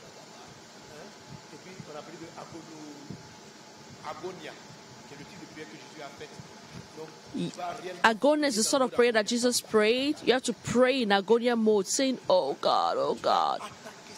You have to to pray this way, saying, "Oh my God, your name is not glorified. My God, see, people are suffering, Father."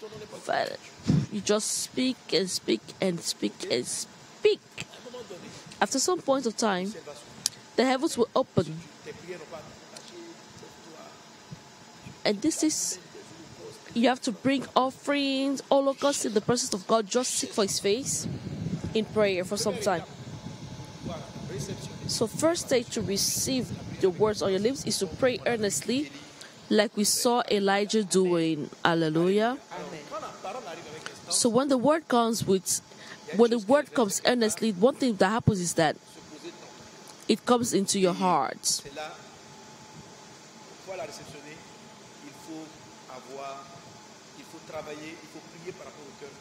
You need to pray with regards to a pure heart. Donc pendant que tu pries comme ça, tu vas dire, oh Dieu, crée en So pray and say, Lord, create in me a pure heart, renew in me a willing spirit. Renew in me a willing spirit.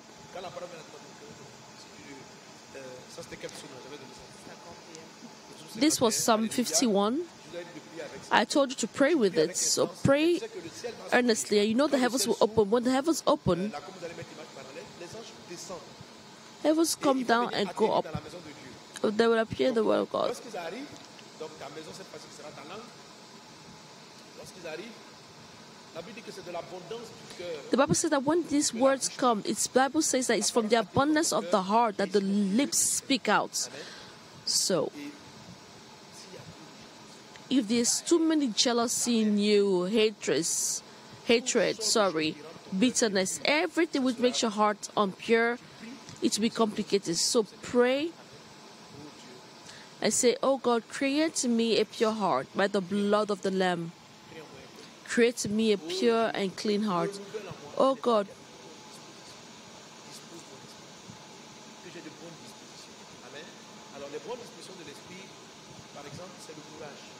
the good disposition of the Spirit is courage. Because to declare the words that we call the paroles-là, to declare these words, we need boldness. So you're going to ask God, God, give me a willing spirit. So create in me a pure heart. So I remove every hatred. As though I was going back to Gilgal, and renew in me a willing spirit. Give me a good, willing heart. So you just pray accordingly. Because once you sweat the once you sweep the house, the words will come. And there's some things which can be obstacles. Alléluia.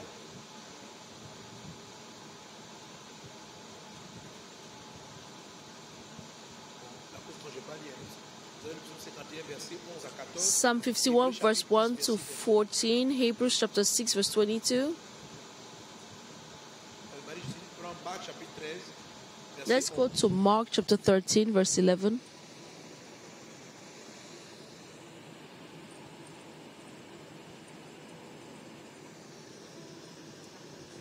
Marc 13, 11. parole de Dieu. reading the Word of God. But when they arrest you and deliver you, do not worry beforehand, but premeditate or premeditate what you'll say. But whatever is given you in that hour, speak that for it is not you who speaks, but the Holy Spirit. So when they arrest you, when you'll be faced with some challenges, do not worry beforehand about what you'll say. So worrying beforehand troubles the prophecy that will come on your lips. You're like asking, What will I sing? It's very difficult when you're worrying and you're planning exactly what you're going to sing or say.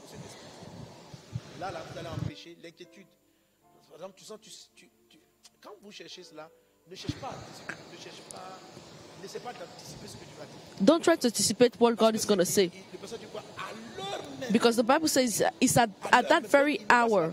So it doesn't come first, it gives it to you immediately. Là, les paroles, les prophéties qui viennent suivre, les- The prophecy that comes on your lips Car ce n'est says, pas vous qui parlerez, For you will not speak, but it is the Holy Spirit. Qu'est-ce qui peut empêcher l'Esprit de parler What can prevent the Holy Spirit from worry, from speaking is creation by anticipation. So generally, Moi, ça m'arrive souvent. this often happens to me because I know this is the way the Holy Spirit is working when I want to prepare a message. Those are the, the things that I preach are words that come on my lips. The words that come on the list don't come to sack the devil or destroy. It comes to exhort. It's prophecies like any other. For example, I, I spend time in prayer to open my heaven. On Sunday, when I come to the moments and I go live, I need to feel the peace of the Lord. When I don't feel that peace of the Lord, 4 heures, je la sens pas. if I don't feel it by 4 a.m., that's when I'll begin to revise what I said last time to know what I'm supposed to say. I'll start thinking about it. But generally, that's not what I'm after. Because it may happen that at that very moment he may say something. Because when you planned too many things, when here, for example, give such a tip, you'll be like, "Mm, I didn't study this well. I didn't study this well. And this gift started in me in the beginning of my conversion. In the beginning, when I would evangelize, I was a young Muslim who gave my life to Christ. I would evangelize people, and people would ask questions. And I would say I didn't have the answer. And the answer would just come. And I would leave, and then something would tell me, You lied. And I'll open the Bible and see the word in the Bible. I, w- I would say the word without seeing the verse first. And this made me study the word of the, of the Lord. I began to say immediately what God wanted me to say. And this happens to many people. You see, when you worry, when you don't worry, eh, sorry, when you don't worry, it will flow. From time to time, you add from your imagination, your thoughts, and as time goes, just correct it. Say, Lord, create me a willing heart. It is worrying that comes to create a mix up. But as you are not afraid, if I have no revelation for the moments of the good life, I won't worry. As soon as I feel that that is with me, when I sit, many of my messages on Sunday, often when you see me, I'm on my computer in the midst of a message and I start writing, it's because it's just coming. So I'm on the pulpit and I start noting because that's when the Lord is giving me the word. Sometimes I spend a lot of time in worship because I haven't yet received the message because it comes in the hour. It comes in the hour. Given that the word comes in the hour, I worship. I'm like, oh God, I'm waiting on you. When I'm saying I'm waiting on you, I'm really, really waiting on the Lord. I'm saying, oh Lord Jesus, what are you saying today? Oh, oh. At some point in the hour, the word then comes. Amen. I used to tell my my brother, Pastor Ivan, Pastor Ivan is a prophet. He does people don't know, and I was telling him, Pastor, what you're doing is very powerful. The time he spends in worship is to receive the word on the lips. God usually speaks to him before, but to receive power, he spends time in worship. So God puts the power of deliverance on his lips. it's not so much the information. Generally, the information he has it beforehand, but that power he receives it during that worship time. So he opens heaven in worship, and when he opens the heaven in worship, the power to say what he has to say comes, such that what he says in the moment he says that is the prophetic, not because it's written in the book. It's prophetical because the word that comes is not the word that said, Thus says the Lord, here's what's going to happen to you. It's a word that comes to deliver, it's a word that comes to heal. Elijah did not prophesy over the future. We don't see the prophecy of Elijah, which says in four years, like Jeremiah, but his words were on his lips. He said, At my word. So when Pastor Ivan is under the Spirit and declares things, wow, I'm telling you, it produces huge damages. But he says you're delivered. It just happens immediately. That's the prophetic. Without the prophetic, you cannot deliver people. Without this level of prophetic, people will stay captive. You need to open heaven. That's why when Paul said, If I come to you speaking to you by doctrine, there's some people who speak out of prophecy, they speak out of revelation. And I believe that Pastor Marcel is the same. I don't know how he receives this message, but Pastor Ivan, because I speak to you, speak to him with God's message, there's an energy. When Pastor Barcelona preaches, which is not natural. And when I listened to the message on uh, on internet, I was like, when I listen, I'm like, he's prophesying, he's prophesying. Okay, may God bless you abundantly. So, what do we do to receive the words on our lips? Pray earnestly. Do not worry. Purify your hearts. I pray over my heart. Give me a pure spirit according to Psalm 51. Purify my heart and do not worry. If you're saying, Will this happen? Will this happen or not? War will cause you not to receive anything. So the most important is for you to be at ease. If God grants you grace to have information before, note them. If you have them precisely at that moment, just keep praying. Even if you're with people, do not worry about what to say. Commit the meeting to the hand of the Lord. Pray for your heart to be willing. Worship to open heaven and worry no longer about what you're going to sing or what you're going to say. When you do the prophetic worship, the Lord will give you what to say or what to sing. When you start preparing your worship, the service you're going to lead, just pray. If He gives you the melody, write them down. If He doesn't give them to you, don't worry about them or look for them. Keep praying. If He doesn't give you the title of the song, don't look for it. Just keep praying. And in the hour, you're going to receive the song that will deliver. Every song you prepared too much before, went through your revelation, wrote on your paper, the demons have seen it, people have seen it, and because the demons of the Antichrist around, they'll come and say, Oh, God has told you to sing this. Your soul is restored. So He wants to restore the souls. So He will send demons, anti restoration of soul. So you're going to be fighting as you're seeking restoration. There will be a battle against the restoration. Meanwhile, when God says, Don't worry, He says, In the hour, you're going to receive. So just say, Let's just worship. Let's just worship and speak in tongue. After some time, bam, the melody will come down. If this is a song I'm supposed to sing, and start singing. And what you will say in the song, just be connected to the Holy Ghost. Don't sing out of singing sake. What you will say. When you say, for example, I'm waiting on you, if it came through the prophetic, all those here, there with you will feel the thirst for God. They will open the heavens in the place. You, the prophet, you are the leader of praise that open the doors. But when your word comes, it's as though it creates the thirst of God in the newcomer. The praise leader sang this song saying, I'm waiting on you. It's not like a singing a melody. What he's saying is that he's waiting on God. He's thirsty. I'm waiting on you. His eyes open on, I'm waiting on God.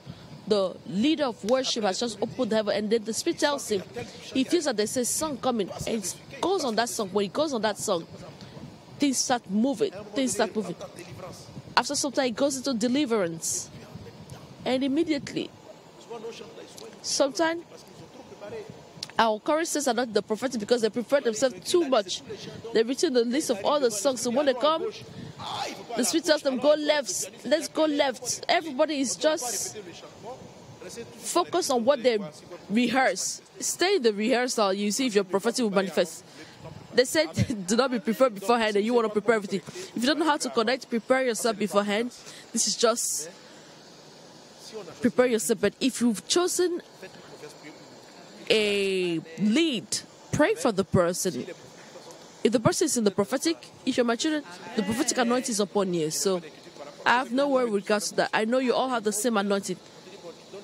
If they tell, give us two songs, give them to us and flow for the rest of the time. And everyone will follow it because you're the lead. The lead will allow a pianist to lead, let him lead. Because to open heaven, we need a, a leader. The guitarist can lead, the guitarist can give the melody, but we need to say, musically speaking, today, he starts playing the note because the melody can create, create the prophetic atmosphere. When Elisha was supposed to come and prophesy, he asked for someone who play the harp. So don't always think that. You see, there are melodies. Don't you say that they open heavens? When people start playing the musical notes, you feel that you're ready. We're going to stop here. Alors, donc, avec ça, on finit la classe. And so we're going to end the class of Bethel. La classe de Bethel. Mardi prochain, on va attaquer la Next Tuesday, we're going to start with the class of Jericho. On a brisé les murs. And then we're going to break the walls. That's why I said that this teaching is the bridge between Bethel and Jericho. We've received, now we're going to release the words. We're going to learn different type of prophetic declaration. Il y a la dé- déclaration prophétique en mode prédication. We have prophetic declaration in preaching mode of restoration to break walls, spiritual battles. We're going to come back on teachings that we gave during the School of the Prophets uh, intercessor because they talked about the parts. We talked about Jericho. Why is it that to bring down the walls, God made the people of Israel go around the wall and dancing? You understand why those who have the gift of prophetic dancing, why you need to feel the music? What do your actions or movement translate in the prophetic dancing? You, the Lord puts His words in people's mouth, but it can also be in the movements of people. In Jericho mode, we learn all of this to allow the power of God to be manifested to over, to destroy the walls, So bring forth. May God bless you abundantly. This is what I wanted to share with you. We're going to pray unto the Lord for all of this. And Lord, thank you for the spirit of prophecy. I believe in you right now. You've said that you touch our lips and put your words on our lips. May your you said that you cover us with your shadow. May the anointing of the Holy Spirit come upon your servants, where your son, daughter have to declare words of life and prophecy to release situation. Oh God, be with them. I pray for all the prophets and students of the school of the prophets following. May your power be upon them, your grace abound on them. May your strength be with them in the mighty and precious name of Jesus. Raide sarabara la glorianda brada sukata. Laide winta liba baba. Roba kata riba brada soro bara la brabara la ve. Rianda brada solo bakata rianda brada sere bara la bra. Regada la baba yanda rababres. Rukata lianda ba. Maintenant recevez ces dons. Now Reçois le don de receive this gift of prophecy. Reçois le don de la prophétie. Receive the gift of prophecy. Reçois le don de la prophétie. Receive the gift of Reçois le don de la prophecy. prophétie. Reçois le don de la prophétie. Receive the gift of prophecy. May the Spirit of the Lord be with you. May divine grace overbound in your life. You're blessed in the name of Jesus. Someone say a good Amen. May God keep you and bless you. Amen. Stay connected for some minutes as I give you special information. How are you, my daughters? Have we been blessed by today's training?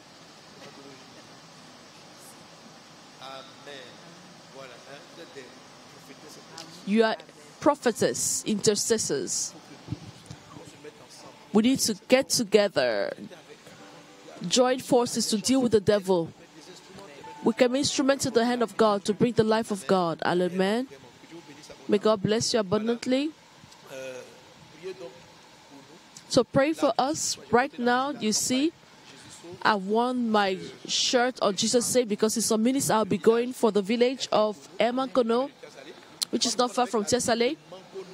It's different from the town of Mankono. Peut-être que ce sont les, les habitants de Mankono qui sont déplacés Maybe it's the inhabitants of Mankono that went to the area of Emankono and created that village, but they're not the same village. And we're going to go to a village called Kwasiko beside it. We're starting tonight. So pray for the program. Pray for God to enlighten this town. May the light of God shine in these two towns, which is a huge village, Emankono and Kwasiko. May the light of God shine and darkness move. May divine favor be manifested in the town of Tiasale. Prostitution, sexual morality, fetishism, bewitchment is very present in this town. The local people are blocked, they're not succeeding. We believe that the salvation and light of God will shine. So pray with me, pray with all of the intercessors. And let's pray also for our future program to 931, which will be in the east of Cote d'Ivoire. May God bless you abundantly. Is there any information that I've forgotten? Yes, night fire. So usually it's on Fridays, but for this weekend, next weekend, given that the 28th of May I'll be in the crusade, our night fire is going to hold on the 30th of May at midnight. I was getting used to Friday. So the 30th of May we're going to have night fire, okay? Not on Friday. So do your all night with me while we'll be in Tiasale.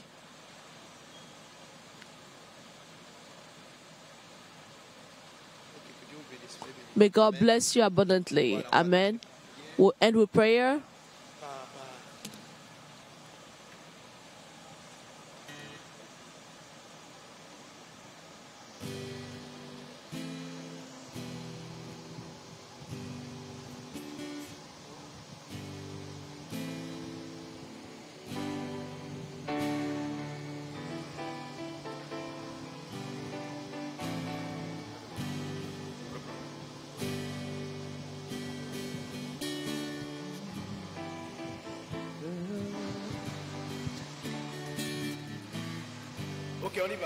Okay, let's go. Go ahead and sing. The hymn of Pentecost.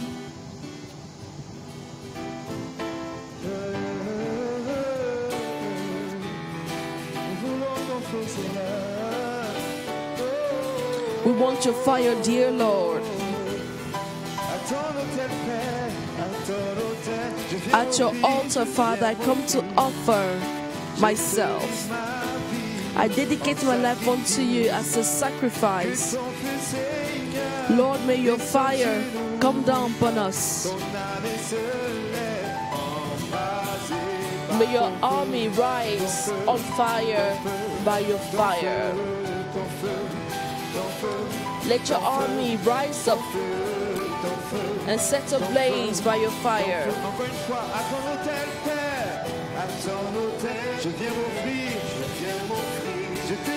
Vie en sacrifice.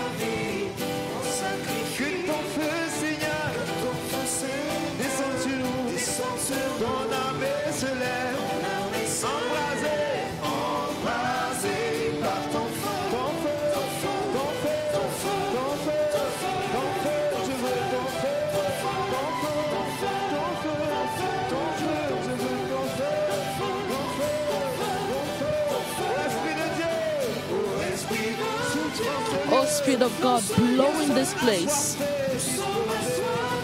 We are thirsty and ready. Anoint with your spirit.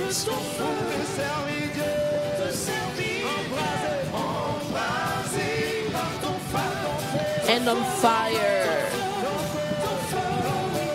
Let's be set ablaze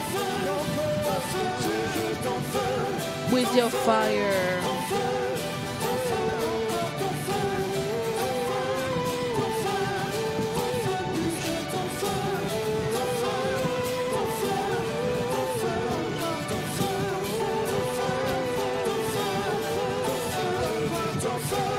Send your fire.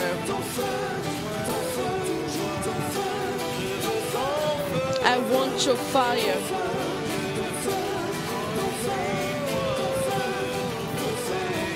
Lead me by your fire. I want your fire.